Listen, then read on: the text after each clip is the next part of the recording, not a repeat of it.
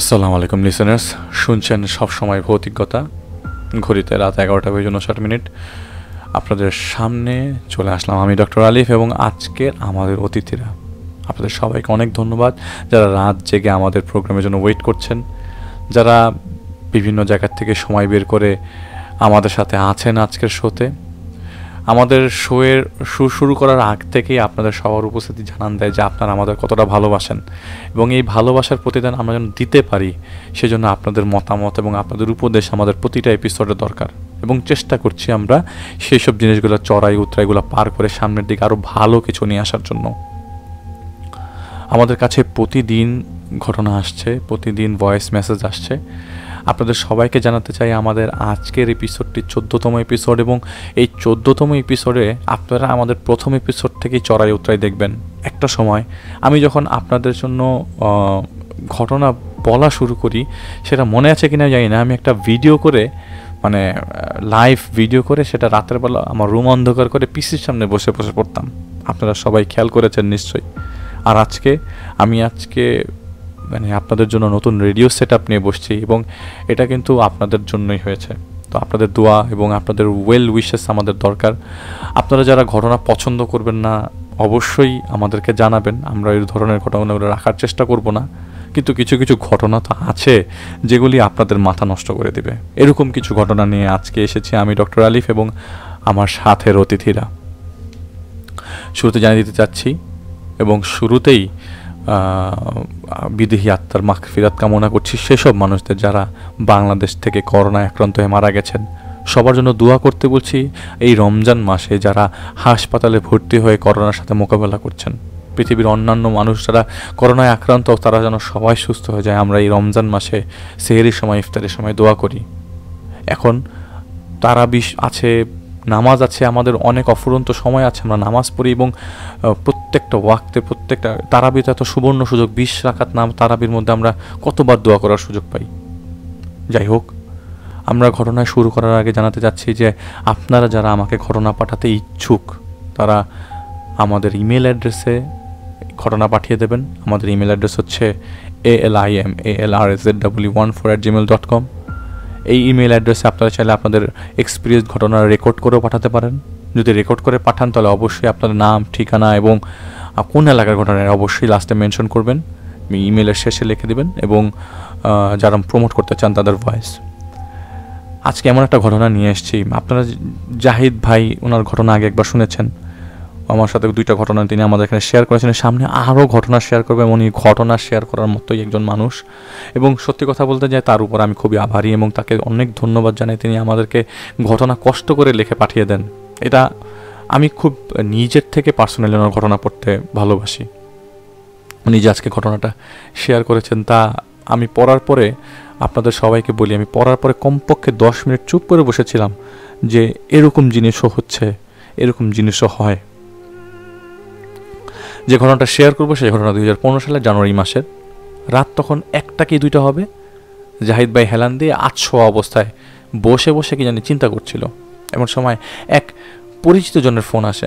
উনি বলেন যে, ওনার এক আত্মীয়র বাড়িতে সমস্যা হচ্ছে। বেশ সমস্যা। উনি যেন কারণটা খুঁজে বের করে এবং সে কি আসতে পারবে কি না তো তিনি বলে যে, ঠিক আছে, আমি যাব। তো মাগরিবের নামাজের পরে যাব।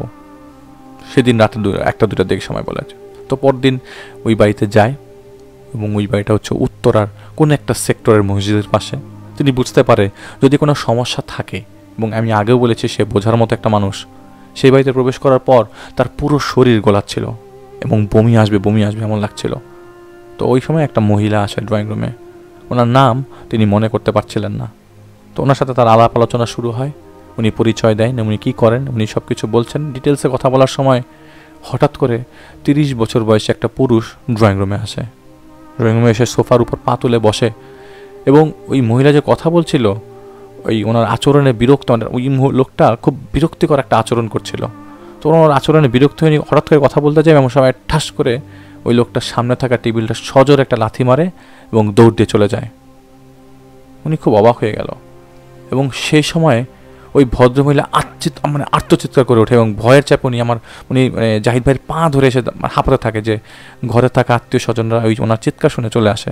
বাট ভদ্রমহিলা কান্না শুরু করে দেয় এবং এত কিছুর মাঝে জাহিদ ভাই কিং কর্তব্য বিমূর হয়ে দাঁড়ায় থাকে এবং কী বলবে বুঝে উঠতে পারতেছে না। হঠাৎ করে আপনার পায়ের সামনে যদি কেউ আপনার পায়ের সামনে পড়ে বসে এবং কান্না করতে থাকে, আপনি কি করবেন? উনি কাঁদতে কাঁদতে চিৎকার করে বলে যে, এগুলা হইতেছে, দেখেন, এগুলো হইতেছে আমাদের সাথে। আমার ছেলেটারে খাইছে, এখন আমাদেরকে খাবে। আমাদের জীবনটা তছনছ হয়ে গেছে ভাই। আমাদেরকেও মেরে ফেলবে। এইভাবে প্রভাব প্রলাপ করছিল এবং সাথে সাথে উনি বেহুশ হয়ে যায়। আর জাহিদ ভাই একদম অপ্রস্তুত। কি করবে? এই মহিলা বেহুশ হয়ে গেছে। তো ওই আত্মীয় স্বজনরা এসে ওই মহিলাটাকে অন্য রুমে নিয়ে যায়। তো তার মামা ওই রুম ভেতর থেকে আসে এবং ভাইরে আরেকটা রুমে নিয়ে যায়।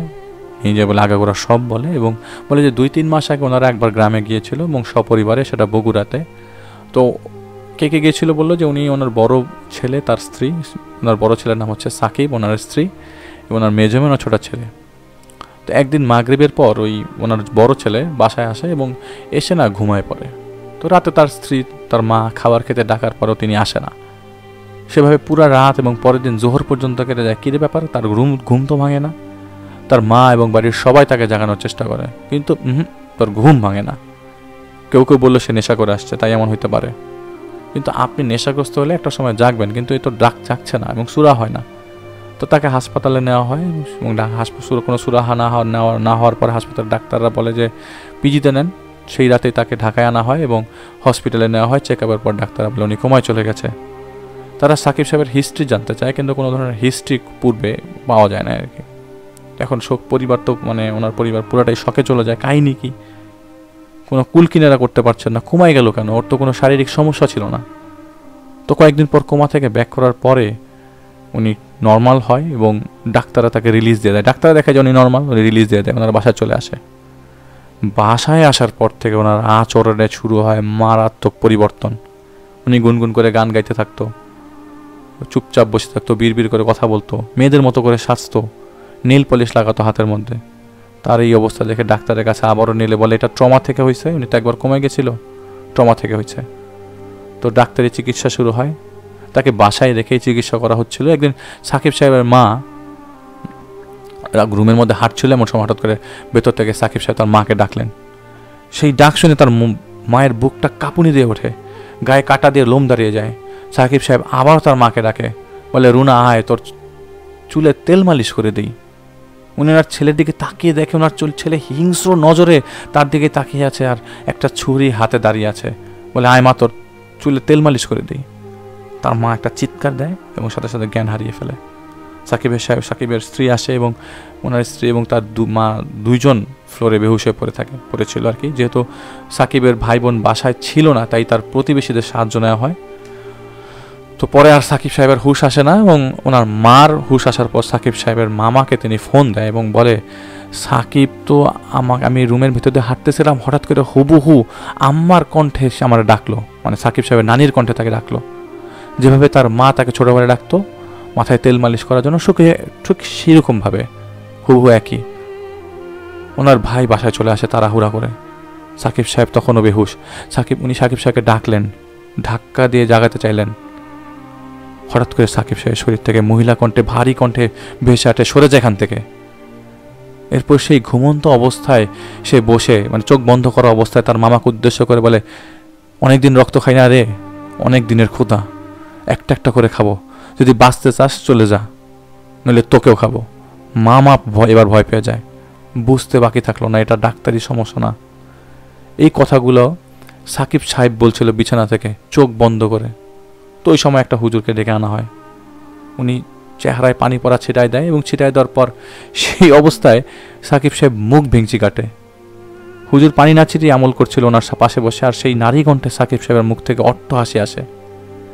হুজুর তার সাথে কথা বলার চেষ্টা করে কিন্তু সাকিব কোনোভাবেই তার সাথে কথা বলছিল না। তো সেই হুজুর চলে যায় এবং যাওয়ার সময় বলে, এটা খুব পাওয়ারফুল জিনের আসর, আপনারা অন্য কারোর সাহায্য নেন। তারা বেশ কয়েকজনের কাছে যায়। এবং বেশ কয়েকজন সাকিব, কয়েকজনকে সাকিব সাহেবকে দেখায়। কিন্তু সাকিব সাহেবের সাথে যখন কথা বলতে চায়, তখনই সে মুখ বেঞ্চি কাটে। আর যারা আসতো মানে মুখ বেঞ্চি কাটার সময় যেসব ভাষায় কথা বলতো, তারা হুবহু আত্মীয় স্বজনদের ভাষায় কথা বলতো এবং দুই তিনটে কথা বলতো। এর মধ্যে সাকিব সাহেবের মায়ের প্রতি রাতে একটা বাজে ঘটনা শুরু হয়। রাতে শোয়ার পর যখন গভীর ঘুমে নিমগ্ন থাকতো, উনি স্বপ্নে একটা জিনিস দেখতেন। দেখতেন যে ওনার বড় ছেলে সাকিব, তার মেয়েকে বা কখনো তার ছোট ছেলেকে তার চোখের সামনে জীবন্ত কেটে টুকরো টুকরো করে কাটছে। আর তারা যন্ত্রণায় তার মার দিকে অসহায় দৃষ্টিতে তাকিয়ে আছে এবং সাকিব সাহেব তাদের শরীরটার, শরীরের কাটা অংশ নিয়ে কামড়াচ্ছে, আমার নিজেরই লোম দাঁড়িয়ে যাচ্ছে বলার সময়। এবং সাকিব সাহেব তার শরীরের কাটা অংশ কামড়াচ্ছে এবং তার মার দিকে বলছে কিরে খাবি? আয়, একসাথে খাই। এই বিশ্রীর স্বপ্ন দেখে প্রতিদিন শেষ রাতের দিকে তার মার ঘুম ভাঙত। এবং ঘুম ভাঙলে উনি দেখতেন কালো ছায়া একটা তার পায়ের সামনে দাঁড়িয়ে আছে এবং কয়েক সেকেন্ড পর তা মিশে যায়। সাকিব সাহেবের ভাই বোনরা সেম স্বপ্ন দেখতো। তাদের ভাই বোনদের সামনেও তার মাকে জীবন্ত কেটে টুকরো করে তার ভাই বোনরা যখন স্বপ্ন দেখতো, তখন দেখতো যে তার মাকে জীবন্ত কেটে টুকরো করছে এবং সেইভাবে একইভাবে কাম মাংস কামড় নিয়ে তার ভাই বোনদের দিকে তাকিয়ে বলছে কিরে খাবি? আয়, একসাথে খাই। কিন্তু এদিক থেকে সাকিব সাহেবের স্ত্রীর কোনো সমস্যা হচ্ছিল না, উনি ভালোই ছিলেন। তো সাকিব সাহেব স্বাভাবিক খাবার খেতেন না। রাতে সবাই যখন ঘুমায় যেত, তখন ফ্রিজে রাখা কাঁচা মাছ, মাংস, ডিম খেয়ে ফেলতো। সকালে ফ্রিজে খুঁজ ফ্রিজ খুঁজলে সেগুলো খুঁজে পাওয়া যেত না। তো একটা পর্যায়ে না পেরে ওনাকে শেকল দিয়ে বাধা বেঁধে ঘরে রাখা হলো এবং যাতে উনি কোনো কিছু ভাঙচুর করতে না পারে, কারণ মাঝে মাঝে উনি কোনো জিনিস কোনো না কোনো জিনিস ভাঙচুর করতো। এবং সেটা করতো ঘুমন্ত অবস্থায়, চোখ বন্ধ করা অবস্থা আমি আগেও বলেছি। উনি যা কিছুই করতো, তার সবই চোখ বন্ধ করা অবস্থায়। তো জাহিদ ভাই কথাগুলো শুনলো এবং ওই ভদ্র মহিলার হুশ তখন ফিরে। উনি স্বাভাবিক হয় এবং ওনার সাথে সেই স্বপ্নের কথা তিনি তাকে মানে ওনার স্বপ্নের কথা জাহিদ ভাইকে বলে। তো জাহিদ ভাই ঠিক আছে, আমি আজকে আসি। আমি কালকে আবার আসব। তো তখন তখন সাকিব সাহেবের মামা বলল যে, আপনি কি একটু সাকিবকে দেখবেন? তো ওই ভাই, জাহিদ ভাই বলে, আমি তো দেখলাম ওনাকে, একটু সামনে তো একটু আগে সামনে তো আমার সামনে আসলো ড্রয়িং রুমে আসলো, লাথি দিয়ে টেবিল ভেঙে চড়ে গেল। এটা শুনেই ঘরে থাকা সবাই তার দিকে তাকালো। তার মামা বলে, কি বলেন ভাই? ও তো শেকলে বাধা। আর ওকে তো ঘরবন্দি করে রাখা। ওর ঘর তো বাইরে থেকে লক করো কীভাবে আসবে? আর টেবিল তো না, এর আগেও অনেক কিছু দেখা যায় যে ভেঙে যাচ্ছে আর আমাদের সামনে। এটা বলে ওনার ঘরটা তার মামা তাকে দেখায়। তো জাহিদ ভাই আর কিছু ভাবতে চায় নাই। তিনি চলে আসার সময় সাকিব মানে চলে আসার সময় দরজা ক্রস করবে এমন সময় সাকিব ভাইয়ের মা তার হাতটা ধরে বলে মানে ধরে বলতেই কে কেঁদে ফেলে আর কি। উনি কিছু বলতে পারছিল না। তো ভাই সেদিন, জাহিদ ভাই সেদিন সান্ত্বনা দিয়ে ওই বাড়িতে, ওই বাড়িটা ত্যাগ করে। তো উনি সবসময় এশার নামাজটা একটু দেরি করে পড়ে। আর সেদিন সাকিব সাহেবের মায়ের কান্নাটা তার কাছে খুব খারাপ লাগছিল। তো রাতেবেলা তিনি তাহাজুত পরে তার সেই জিনকে স্মরণ করে। তিনি আসার পর প্রথমেই জিজ্ঞেস করে, তুমি কোথায় গিয়েছিলে? জিজ্ঞেস করলেন সাথে সাথে তিনি বলেন যে, আমি এই জায়গায় গিয়েছিলাম, এই ঘর, এই ঘটনা। তো জানতে চাই সাকিবের কি হয়েছে, কেন এমন, উনি এমন করছে, আপনি বলেন তো। উনি আমাকে বলেন, অপেক্ষা করো। তার মানে উনি জাহিদ সাহেবকে বলেন যে, অপেক্ষা করো। বলে উনি চলে যায়। সেই জিনটা চলে যায়। কিছুক্ষণ পরে সেই জিনটা আসে। আর যেহেতু যাচ্ছ ওদের বাড়িতে, তাই যা যা দেখবে, যা যা বুঝবে, তা তাদের কাউকে বুঝতে দিবে না। এটা তাকে বলছে। সাথে সাথে চলে আসবা। কিন্তু এই কথাটা মনে রেখো, তুমি সাকিবকে আয়নার সামনে রাখবা। এরপর তিনি জাহিদ ভাইকে মোমবাতি দেয় পাঁচটা। বলে, এই বাতিগুলো ওই পরিবারের পাঁচজনের নাম লিখে আয়নার সামনে জ্বালাই দিবা। মোম জ্বালানোর সময় তুমি তাদের সবাইকে এক জায়গায় একত্র করবা এবং তাদের পাঁচজনের প্রতিফলন আয়নায় দেখবা। বাকিটা তুমি নিজে নিজে বুঝে যাবা। আরও কিছু ব্যাপারে শিখিয়ে দেয়? তিনি চলে যাওয়ার সময় বলে, এই কথাটা মনে রেখো, ফুলবানু কিন্তু বেলি বেলি ফুলের গন্ধ সহ্য করতে পারে না। তো ওনার কাছে, জিনের কাছে জাহিদ ভাই জিনিসটার বিষয় জানতে চায়। বলে, কথাটা তুমি মনে রাখবা। উত্তর তুমি পেয়ে যাবা। এটা বলে উনি বিদায় নিয়ে চলে যায়। তো সেদিন মাগরিবের নামাজ পড়ে তাদের বাসায় চলে যাওয়া হয়। তখন ঘরে তাদের অনেক আত্মীয় স্বজন ছিল, সাকিবের মামারা এবং তাদের পরিবার। তো জাহিবে এত লোক দেখে অবাক হয় নাই, বরং তার মাথায় কেবল একটা জিনিস ঘুরছে। ফুলবানু কিন্তু বেলি ফুলের গন্ধ সহ্য করতে পারে না। তাই তিনি আসার আগে একটা ফুলে বেলি ফুলের মালা ছিঁড়ে তার পকেটে নিয়ে আসছিল। এই আশায় যে এই ফুলের গন্ধতে কিছু না কিছু একটা হবেই।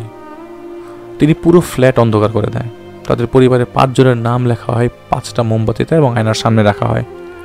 তো ওই বাইরে থেকে স্ট্রিট ল্যাম্পের আলো আসছিল। তাই আবছা আলোয় দেখা যাচ্ছিল সব কিছু সাকিব সাহেব তখন উন্মত্ত হয়ে গেছে, হুমকি দিচ্ছে, কান্নাকাটি এবং দাপড়াচ্ছে। অনেক কষ্টে বেশ কজন মিলে তাকে সেই ঘরে আয়নার সামনে এনে অনেক কষ্টে তার আয়নার সামনে বসানো হলো। এবং, এই জাহিদ ভাইয়ের কাছে কিছু আমল করা পানি ছিল এবং সেটা তার উপরে ছিটায়। এই ছিটানোর পরপরই ওই লোকটা মাথা নিচু করে বসে পড়ে, সাকিব সাহেব। এবং জাহিদ ভাই বলে, বাকি সদস্য তার মা ভাই বোন স্ত্রীকে বসায় দেয় এবং সেই মোমগুলো জ্বালায় দেয় এবং তাদের বলে, সবাই আয়নার দিকে তাকায় থাকেন। তারা তাকায় থাকে আর তখন সাকিব সাহেব গত এক মাসের মধ্যে প্রথমবার চোখ খুলে। কিন্তু তার দিকে তাকিয়ে থাকে। মানে জাহিদ ভাইয়ের দিকে ওই সাকিব সাহেব তাকিয়ে আছে। তো জাহিদ ভাই জানতো, এরা সাকিব সাহেব না। এর মধ্যে তিনি আয় বা আয়নায় বারবার তাকাচ্ছিল জাহিদ সাহেব। তো তিনি জাহিদ ভাই বারবার আয়নায় দেখছিল যে আয়নায় মানে সাকিব সাহেবের স্ত্রী ছাড়া বাকি সবার মুখটা কেমন যেমন বিদ্ঘুটে লাগছিল। এবং সাকিব সাহেবের চেহারার বদলে একজন কুৎসিত কালো মোটা ঠোঁটের একটা কালো শাল জড়ানো মলিহের মহিলাগুলোর চোখ লাল তাকে আয়নায় দেখা যাচ্ছিল। ও রাগ নিয়ে তিনি তার মানে সাকিব জাহিদ ভাইয়ের দিকে তাকিয়ে আছে। তো জাহিদ ভাইয়ের বুকটা ধক করে ওঠে। জাহিদ ভাই তার মা এবং তার পরিবারের দিকে তাকিয়ে দেখে সেভাবেই তাকিয়ে আছে তার আয়নার দিকে।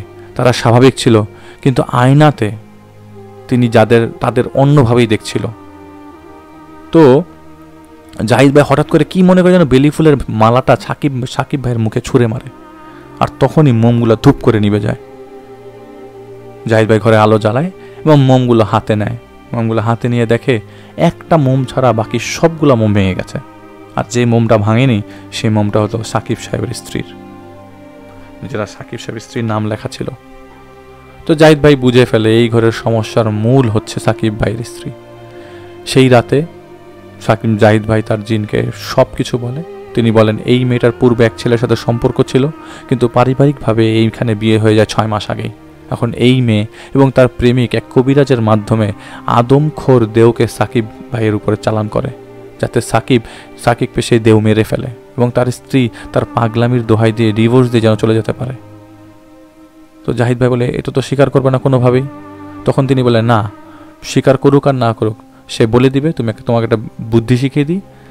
তো জাহিদ ভাই বলে হ্যাঁ কী বুদ্ধি? বলে যে, তুমি এক কাজ করো, তুমি একটা জিনিস সাকিবের মানে একটা জিনিস আছে, আমি তোমাকে সাকিবের উপরে খায় সাকিবকে দিব খাওয়ার জন্য এবং সবাইকে ডাকবে ওই সময়, যেন সবাই উপস্থিত থাকে ঘরের সামনে সাকিবকে জিনিসটা খাওয়ানোর সময়। তো পরদিন পুনরায় সে তার বাসায় যায়। সেই জিনের কথা মতো কিছু আধা সেদ্ধ মাংসের ব্যবস্থা করা হয়। সাকিব সাহেব সেইভাবেই মানে বেহুশ হয়েছিল। মানে চোখ বন্ধ কিন্তু কিন্তু উনি বসে আছে বা দাপড়াচ্ছে এরকম অবস্থা আর কি। তো খাবার ওনার সামনে আনার পর উনি জেগে ওঠে এবং তাড়াহুড়া করে সে মাংসটা খায়। সেই মাংসটা আগেই জাহিদ ভাইয়ের জিন একটা তদবির করে দিয়েছিল। তো মাংস মুখে নিতেই সেই দেহ যন্ত্রণা গঙ্গাতে থাকে। একটা সময় বলতে থাকে, আমার খুব যন্ত্রণা হচ্ছে, আমি আগুনে জ্বলছি, আমাকে ছেড়ে দে, হাত পা ছোড়াছুড়ি করতে থাকে। তখন জাহিদ ভাই কোরআন শরীফ থেকে সুরা কাহাফের চল্লিশ থেকে উননব্বই নম্বর আয়াত পরে তার মুখে, তার শরীরে ফু দেয়। সে বসে পড়ে। তো জাহিদ ভাই বলে, সবাইকে সত্য বলে দাও, নইলে আজ তোমাকে এখানেই শেষ করে দেব। আল্লাহর কালাম তোমাকে জ্বালিয়ে পুড়িয়ে ছাই করে দেবে। তুমি কিন্তু জানো এখানে আমি একা না। এটা হচ্ছে জাহিদ ভাই ওই জিনকে বলছে। এটা বলার পর জাহিদ ভাইয়ের সেই জিন সেখানে আসে এবং জিন যেখানে আসছে সেটা ওই জাহিদ ভাই ছাড়া আর কেউ বুঝতে পারে না। তো জাহিদ ভাই কোরআন হাতে নিয়ে তাকে জিজ্ঞেস করে, কি নাম আপনার? সে বললে, জং বাহাদুর। আমি আসামের ভোলাগঞ্জে থাকতাম। আমাকে নিতাই মাওং পাঠিয়েছে। তো জাহিদ ভাই জিজ্ঞেস করে, কেন? তখন সে সাকিবের বাম হাতের বুড়ো এবং তর্জনী ছাড়া বাকি তিন আঙ্গুল দিয়ে তার স্ত্রীর দিকে নির্দেশ করে বলে, ও আর ওর প্রেমিক আমাকে পাঠিয়েছে সাকিবকে মেরে ফেলতে।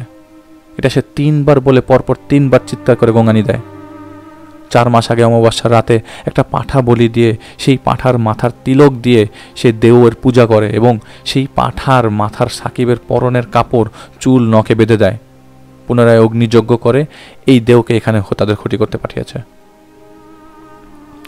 তার মানে আপনারা বুঝছেন নিশ্চয়ই যে সাকিব সাহেবের কাপড়, চুল, নখ একটা পটলির মধ্যে করে সেই রক্ত ভিজিয়ে তারা পূজা করে তাকে এই দেওকে এখানে পাঠিয়েছে। এটা শুনে সকলেই অবাক হয়ে যায়। ওই সময় তার স্ত্রী অনেকক্ষণ ব্যাপক জিজ্ঞাসাবাদ করার পর স্বীকার করে নেয়।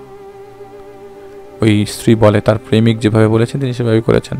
এবং সাকিবের মায়ের কাছে ক্ষমা চান। কিন্তু এত কিছু ঘোরের মধ্যেও সবাই বোকার মতো সব কিছু শুনছিল। এই মেয়েরা যে এত বড় দোষ করল, তখন এই জিনিসগুলো আর তার মাথায় নেই। তারা সবাই দেখছে যে সামনে কি হচ্ছে। তো জাহিদ ভাই দেওকে বলে, ওই দেও মানে যে দেওকে বলে যে সাকিব এবং তার পরিবারকে ছেড়ে চলে যেতে হবে, নইলে ছাই হতে হবে। সে বলে, সে চলে যাবে। যদি সেই অগ্নিযজ্ঞ করা পাঠার মাথার সেই পুটলিটা ফেরত দেয়।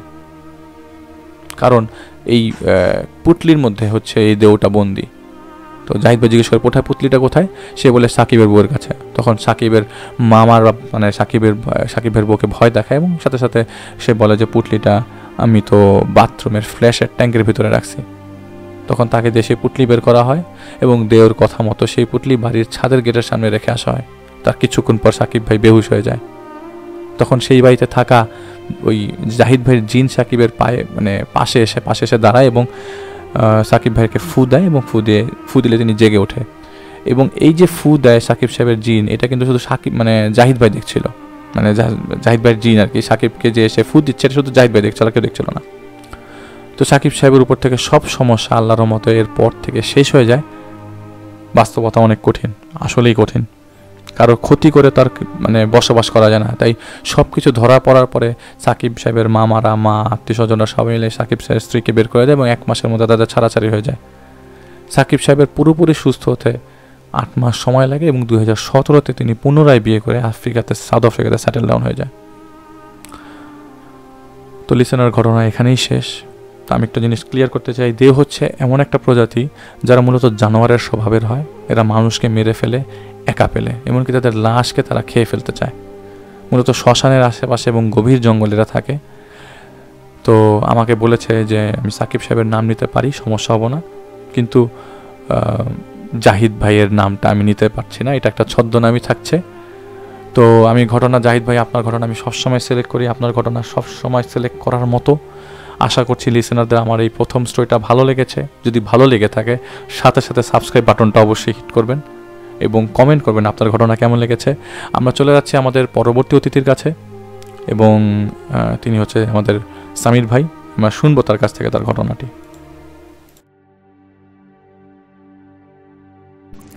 আসসালামু আলাইকুম লিসেনার্স সামির আনসারি বলছিলাম। ভৌতিকতা সাথে আজকে আবার হাজির হতে পেরে অনেক অনেক ধন্যবাদ জানাচ্ছি আলির ভাইয়াকে। আর আজকে আমি বেশ কিছু ভয়ঙ্কর ঘটনা আপনাদের শোনাবো। আশা করি আপনাদের ভালো লাগবে। তো প্রথম যে ঘটনাটা আমি শোনাচ্ছি, সেটা পুরান ঢাকার কোনো একটা কলোনির একটা বাসায় ঘটে যায় একটা ঘটনা। এটা ঘটেছিল উনিশশো নব্বই সালের শেষের দিকে। তো আমি বর্তমানে যে বাসায় থাকছি সেই বাসায় চারতলার আন্টির ভাইয়ের সাথে ঘটনাটা ঘটে সেই সময়। তো ওই আন্টির ভাইয়ের নাম হচ্ছে ফারুক। তো ফারুক সাহেব, উনি সেই নব্বই সালের দিকে এরকম সরকারি চাকরি করতেন এবং ওনার পোস্টিং ছিল তখন লাকসাম। ওনার ফ্যামিলি মেম্বার বলতে ওনার স্ত্রী আর ওনার একটা ছয় সাত বছর ছেলে ছিল। তো তখন ওনার পোস্টিং হয় কোনো কারণে ওই বছর শেষে ঢাকার দিকে। তো ঢাকার দিকে পোস্টিং যখন হয় তখন ওনার স্ত্রী আবার ছিল প্রেগনেন্ট তো উনি ভাবে যে না, যেহেতু স্ত্রী ওনার ওয়াইফ এরকম অসুস্থ, তো উনি ওনার ওয়াইফকে ওই শ্বশুরবাড়িতে দিয়ে আসে, চাঁদপুর ওনার শ্বশুর বাড়ি ছিল ওনার ছেলে সব দিয়ে আসে, তো পরে ফারুক সাহেব ঢাকা এসে পড়ে। তো উনি যখন অফিসে যেদিন জয়েন করবে তখন ওনার যে উদ্বোধন কর্মকর্তা ছিল, ওনারা বলতে, ওনা, উনি বলে যে, ফারুক সাহেব আপনার তো এরকম, এই মুহূর্তে তো আমরা এরকম ভালো কলোনিতে ভালো রুম পাই নাই। তো একটা বাসা পাইছি, এটা কলোনির একটু লাস্টের দিকে। তো কোনো রকম একটু থাকেন দু এক মাস, তারপর আমরা আপনাকে ভালো রুম দিব। তখন খালি হলে আপনাকে ভালো রুম দিব আর কি। তো আবার এটা বলে দেয় যে ওখানে সিকিউরিটি একজন আছে মতি মিয়া। মতি মিয়ার সাথে আপনি কথা বলে নেন, সে খুব ভালো লোক এবং সে আপনাকে বাসার সব কিছু বুঝাই দিবে। ওনার কাছে সব চাবি আছে বাসার। আর ওইটাও বা ওই ওনার ওই অধ্যতন কর্মকর্তা বলে দেয় যে আরেকটা কথা হচ্ছে যে আপনার এখানে আরেকজন রুমমেট থাকবে, সপ্তাহখানেকের মধ্যে সে আসবে। তো আসলে তারপর আপনি ওখানে থাকলে দেখা যাবে আপনার সময় পার হয়ে গেছে। এই দুই মাস কীভাবে পার হয়ে যাবে বুঝবেন না। তো বলতেছে যে আবার বলে যে টেনশন করেন আপনাকে ভালো রুম দিব এরপরে। তো উনি অফিসের কাজ শেষ করে সেদিন একটু আগে আগে বিকেলের আগে আগে চলে যায়। ওনার ওই কলোনির দিকে এবং কলোনিতে ঢুকতেই সেই মতি মিয়ার সাক্ষাৎকার পায় এবং সাক্ষাৎ পাওয়ার পরে উনি মতি মিয়াকে বলে যে, আমার রুমটা বাসাটা কোন দিকে? তো মতি মিয়া বলে যে, স্যার, এটা তো একবারে শেষ মাথায়, চলেন, আপনাকে নিয়ে যাই। তো ওনার এরকম যা হাঁটা শুরু করে, এরকম দশ মিনিট হাঁটার পর নাকি একবারে কলোনির শেষ মাথায় গিয়ে একটা ওইরকম বাসাটা পায়। বাসাটা নাকি ছিল এরকম যে, ওই বর্তমানে পুরান ঢাকায় বা ওই মফসল শহরে কিছু পুরান আমলের বাসা আছে, একতারা মানে দেখে নকশা করা, একটু হিন্দু বাড়ির মতো, এরকম কিছু বাসা আছে। তো এরকম একটা বাসা ছিল। তো ফারুক সাহেবের দেখেই নাকি বাসাটা পছন্দ হয় নাই এবং ওনার বাসাটা দেখে মানে এমন লাগতেছিল যে বাসাটা মানে কি একবারে ড্যাম খাওয়া বাসা শেওলা পড়া বলে আমাদের শেওলা পড়ে আছে। তো সে মতিমিয়াকে বলতেছে যে মতিমিয়া এটা আমার কী বাসা দিল? এই ড্যাম খাওয়া বাসা আমি থাকব? হ্যাঁ তো এখন মতিমিয়া বলতেছে স্যার, কোনো রকম থাকেন? কোনো সমস্যা নাই? আসলে এই বাসায় তো অনেক অনেক দিন কেউ হয়, কেউ থাকে না। লোকজন আমরা যখন অতিরিক্ত কেউ আসে, তো তখন প্রথমে একটু রুম না পেলে আমরা এখানে থাকে আর কি এটুকুই। তারপর টেনশনে কিছু নেই, আপনি বেডিং পত্র নিয়ে আসেন। তো ফারুক সাহেব তারপরে বলতে বলতেছে, সমস্যা মানে ঠিক আছে, বেডিং পত্র কালকে এনে আপনাকে আমি ডাকবো। তো উনি কোনো রকম ওই সেই একটা হোটেলে থাকার পর পরের দিন বেডিং পত্র নিয়ে ওই মতিমিয়াকে নিয়ে আসে। তো বেডিং পত্র বলতে একটা ওনার ওই একটা খাট ছিল তারপর একটা আলনা ছিল, একটা টেবিল ছিল, একটা সেলফ ছিল। আর এই বাসাটার একতলা তো দোতলা হচ্ছে ছাদ। ছাদের সিঁড়িগুলো নাকি শেওলা মানে ঢু- রু- মানে বাসায় ঢুকতেই হচ্ছে একটা বারান্দা, বাম দিকে ছাদ আর সামনে তো এরকম রুম। তো এটা ওই মতি মিয়া বলতেছে যে, স্যার, আপনি কোনো সমস্যা নাই, তবে আপনার যদি রান্না বান্নার জন্য লোক লাগে আমাকে বলেন, আমাদের এখানে একজন খালা আছে, উনি রান্না বান্না করে দেয়। আপনি তো সকালে অফিসেই থাকেন, ওই খালা আপনাকে সময় মতো রান্না করে দেয় ডাইনিং টেবিলের উপর রেখে আসবে। আর টেনশনে কিছু নাই, উনি খুব বিশ্বস্ত এবং আমরা খুব বিশ্বস্ত, আপনি কোনো চুরি টাকাতে এখানে কিছুই হবে না, এগুলো টেনশন করবেন না। যদি পারেন আপনি আপনার চাবিটা দিয়ে রাখেন, তাহলে আমি খালাকে দিলে খালা ঠিক সময় আপনাকে রান্না করে দিয়ে চলে যাবে। তো ফারুক সাহেব বলে আচ্ছা কোনো সমস্যা নাই তো খালার সাথে গিয়ে দেখা করা যাবে তো ওই ওই মতিমিয়া বলতেছে, না, খালার সাথে দেখা করা যাবে না, খালা, তোরা যদি পারেন রাতে একদিন আসলে খালার সাথে আমি দেখা করে দিব না আপনি। রাত রাতে রাতে খালা কখনো আসে। সচরাচর খালা এরকম বের হয় না, ওই দিনের বেলা আসতে দেখবেন। তো যাই হোক, এরকম ফারুক সাহেব ওই চলে যাওয়ার পরে ওই মতিমিয়া তারপর চলে যায়। তো ফারুক সাহেবের একটা অভ্যাস ছিল যে উনি একা থাকলে রাত্রেবেলা বই পড়তেন এবং অনেকটা ক্যাসেট প্লেয়ার ছিল তখন, তো ক্যাসেট প্লেয়ারে উনি গান শুনতো। তো এরকম যখন উনি মানে গান শুনতো বা দিন কাটাচ্ছে এরকম চাচ্ছিল না কয়েকদিন, তো হঠাৎ কয়েকদিন পরে মানে দুই দিন পরে উনি যখন সন্ধ্যার পর অফিস থেকে ফিরবে, উনি দেখতেছে ওনার বাসার কাছে একজন লোক দাঁড়ায় আছে এবং উনি কাছাকাছি যখন আসে দেখতেছে সাদা পাঞ্জাবি পরা প্রায় ছয় কি সাড়ে ছয় ফুট এরকম হাইটের একটা লোক পাঞ্জাবি পরা এবং পাগড়ি পরা দাঁড়ায় আছে। তো ফারুক সাহেব নাকি অন্ধকারে দেখে হঠাৎ করে একটু ভয় পেয়ে যায়, তো বলতেছে, আপনি কে? তুই লোক বলতেছে যে, আপনি কি এখানে থাকেন? আমি তো আপনার বাসার পিছনেই থাকি। তো আপনি তো মনে রাত্রেবেলা হয় গান শুনেন? তো একটু গানটা না শুনলে ভালো হয়, কারণ আমরা তো রাত ওখানে থাকি, থাকতে আমাদের খুব সমস্যা হয়। যদি সম্ভব হয় গানটা বন্ধ রাখেন। গানটা ছাড়েন না, আমাদের রাতে খুব সমস্যা হয় থাকতে। আপনি দিনের বেলা গান শুনে কোনো সমস্যা নেই। তো ফারুক সাহেব বলতেছে যে, দেখেন, আমি তো এমন জোরেও গান শুনি না যে, আপনাদের সমস্যা হবে, ঠিক আছে, দেখা যাবে। কিন্তু এটা মাথায় রাখেন যে, আমার কিন্তু গানের সামনে তো জোরে জোরের বা মানে আওয়াজটা কিন্তু এরকম জোর হয় না যে আপনার সমস্যা হতে পারে। তুই লোকটাও বলতেছে যে, দেখেন, এসার বাক্ত হয়ে গেছে, আমি নামাজে যাব। তো আপনাকে একটু বললাম আর কি, আপনার, আমার ভালোর জন্য বললাম, আপনার ভালোর জন্য বললাম যে, এরকম গানটা ছাইরেন না। সমস্যা হয়, মানুষের প্রতিবেশীর ক্ষতি করে লাভ কি? তো ফারুক সাহেব একটু বিরক্ত হয়, উনি নাকি পরে ওই লোকের সাথে কথা বলে সঙ্গে সঙ্গে রুমের দিকে রুমের দিকে চলে যাবে। আর ফারুক সাহেব খেয়াল করে যে, লোকটা নাকি তাড়াহুড়া করে এখান থেকে ওই নামাজের উদ্দেশ্যে নাকি মসজিদ দিকে চলে যাচ্ছিল। তো তখন এরকম অনেকটা আলো ছিল না এই জন্য ফারুক সাহেব ওই লোকটার চেহারা খুব একটা ভালোভাবে দেখে নাই। তো সেই রাতে নাকি ফারুক সাহেব ওইরকম গান ছেড়ে আবার উনি ওই বই পড়তেছে। এত আগের দিন থেকে একটু গানটা সাউন্ড একটু কমাই দিছে। তো এরকম দেওয়ার পরে উনি পরের দিন আহ, আসবে। মানে বাসায় মানে উনি পরের দিন অফিস যায় তো পরের দিন যখন বাসায় আসবে তখন এসে দেখতেছে যে ওনার যে ক্যাসেট প্লেয়ারের পাশে দুইটা ক্যাসেট ছিল ক্যাসেটগুলোর ফিতা ছিঁড়ে এবং পেঁচায় রাখছে কে জানে। এটা দেখে ওনার খুব বিরক্ত লাগে। উনি সঙ্গে সঙ্গে সেই ওই ওনার কলোনির যে সিকিউরিটি আছে সেখানে সিকিউরিটি রুম আছে ওখানে যায় গিয়ে দারোয়ানকে বলতেছে যে মতি মিয়া কোথায়? হ্যাঁ কই মতি মিয়া কোথায়? কয়, বলতেছে যে মতি মিয়া তো নাই উনি তো ছুটিতে আছে। কয় ছুটিতে আছে আমার বাসায় কোন বুয়া দিছে? এরকম আমার ভিতর রুমে এসে এরকম মানে আমার রুম হাতাবে আমার রুম এরকম মানে রুমের ঘাটাঘাটি করে কি দেখছে আমার ক্যাসেট ছিঁড়ে ফেলছে ফিতা। এত সাহস এত বড় সাহসী লোক কী হবে এরকম একটু বকা টকা দেয় সিকিউরিটি বলতেছে যে, দেখেন, কোন বউ আপনার এখানে যেটা বলতে পারব না। মতি মিয়া আসলে বলেন উনি। বাড়িতে গেছে, আসুক, ছুটিতে আছে। পরে ওনার সাথে কথা বলেন। তারপর ফারুক সাহেব এরকম এসে পড়ে। সেদিন তো আর ওনার গান শোনা হয় না। তো ঠিক রাত্রে বারোটা সাড়ে বারোটার দিকে উনি বই পড়তেছিল। হঠাৎ করে ওনার একটা সুন্দর গ্রান নাকি আসে। মানে খুবই সুন্দর একটা গ্রান আসে এবং এতটা সুন্দর গন্ধ এবং সেই সাথে কোরআন তেলাত হচ্ছিল। এবং এই কোরআন তেলাত যখন হচ্ছে, ফারুক সাহেব নাকি শুনতেছে আর ওনার মানে মন মানে পুরো ভরে যাচ্ছে। মানে উনি নিজের থেকে বলতেছে, এত সুন্দর কোরআন তেলাত কোথেকে আসলো? তো উনি ওনার খাট থেকে উঠে আশেপাশে মানে পরে যে রুমগুলো আছে, একটু রুমের মধ্যে দেখে আরও দুটা রুম ছিল দুগুলাতে গিয়ে দেখে যে, না, কোরআন তেলাটা বাইরে থেকে আসতেছে। তো উনি পরে একটু গিল্টি ফিল করে, মনে করে যে, ও আছে, এই হুজুরটাই মনে হয় সেদিন যে কথা বলল, সে মনে কোরআন তেলাত করে। হ্যাঁ, এই জন্য হয়তো আমাকে গান বন্ধ করতে বলছে। তো ফারুক সাহেব নাকি এটা দুই তিন ঘণ্টা এরকম কোরআন তেলাত শুনে তুমি বইয়ে পড়তেছিল আবার এরকম তেলাত শুনতেছে। যখন ফজরের কাছাকাছি সময় আসবে উনি মানে একটু ঘুমায় গেছিল তো তখন উঠে যায় ঘুম থেকে তখনও দেখে কোরআন তেলাত হচ্ছে। তো এটা হওয়ার পরে উনি নিজের থেকে একটু গিলটি ফিল করে বলতেছে আমি তো এরকম নামাজ কালাম পড়ি না। এরকম এই এত রাত হয়ে গেল এর কোরআন তেলাত হচ্ছে ওরা এত কোরআন শরীফ পড়তেছে ধর্মের প্রতি ওদের এত ভালোবাসা ঠিক আছে আমি দেখি আজকে থেকে আমি নামাজ পড়ব। উনি সেরকম নামাজ পড়া শুরু করে এবং রেগুলারই একটা বেসিসে দেখতেছে যে কোরআন তেলাতে হয়, ওনারও ভালো লাগে। আর তো গান শোনার ওনার কোনো মানে ব্যবস্থায় নেই, তো উনি ওইরকম ফজরের নামাজের একটা প্র্যাকটিস হয়ে যায় ওনার। তো এদিক দিয়ে আরেকদিন উনি বাসায় এসে দেখতেছে ওনার টেবিলের উপর একটা ছবি ছিল। ছবিটা ছিয়া, ছবিটা ছিল ওনার ফ্যামিলিগত একটা ছবি ছিল, উনি ছবিটা ফ্রেমের মতো রেখে দিয়েছিল। কিন্তু দেখছে ফ্রেম থেকে বের করে ছবিটা যিনি কে ছিঁড়ে রাখছে। তো ওনার আবার মেজাজ খারাপ হয়ে যায়, উনি ভাবে যে না নিশ্চিত এটা বুয়ার কাজ, বুয়া হয়তো কোনো বাচ্চা কাচ্চা নিয়ে আসে বাসায়, এর জন্য হয়তো ছিঁড়তে পারে। তো পরের দিন আমার সাপ্তাহিক ছুটি ছিল, তো উনি ভাবে যে না, কালকে, আজকে যেহেতু বুয়া আসবে, বুয়ার আমি ধরবো, বুয়া কেন এই কাজ করল? তো সে তখন নাকি ফারুক সাহেব ওই পরের দিন বুয়া আসে, বুয়া আসার পর বলতেছে যে আপনি পুরা বলে যে খালা, আপনি এই কাজটা কেন করলেন? আপনি আমার এই ক্যাসেল প্লেয়ার ফিতা ছিটছে দিকে এটা কেন করলেন? আপনি ছবি ছিটতেছেন এসব কি ছিঁড়াছিড়ি বাসা কেন আপনাদের আপনি কোনো বাচ্চা নিয়ে আসেন নাকি এখানে? তো সেই খালা বলতেছে যে, স্যার, আমি তো এরকম কাজ করাই দিয়ে চলে যাই, আমি তো বয়স্ক মানুষ, আমার এখানে বাচ্চা কাচ্চা কেউ না, আমি একাই থাকি, আমি এরকম কোনো ছিঁড়াছিড়ি করি না, আমি আপনার রুমের ভিতরেও আসি না। আমার রান্নার কাজ, আমি রান্না করে দিয়ে চলে যাই, আর একটু দিয়ে একটু ঝাড়াটারু দিই তখন ফারুক সাহেব বলতেছে যে ঠিক আছে, আপনার সাথে আর কোনো কথা নাই, আমি মতিমে আসুক, মতিমে আসলে ওনার সাথে কথা বলব। তো এর দু, একদিনের মধ্যে রোজা শুরু হবে। তো একদিন ফারুক সাহেব ওই বাসায় যখন ইফতার আগে দিয়ে আসবে উনি দেখতেছে ওনার যে টেবিল, এখানে প্রায় আট দশটা খেজুর পড়ে আছে এবং খেজুরগুলোর সাইজ খুব বড়। তো ওই ফারুক সাহেব ভাবে যে হয়তো বুয়া আসছিল, আসার পর হয়তো এখানে খেজুর দিয়ে গেছে, রোজা দেখে। তো ফারুক সাহেব ইফতার করার আগে দিয়ে অনেক খেজুরটা খায়।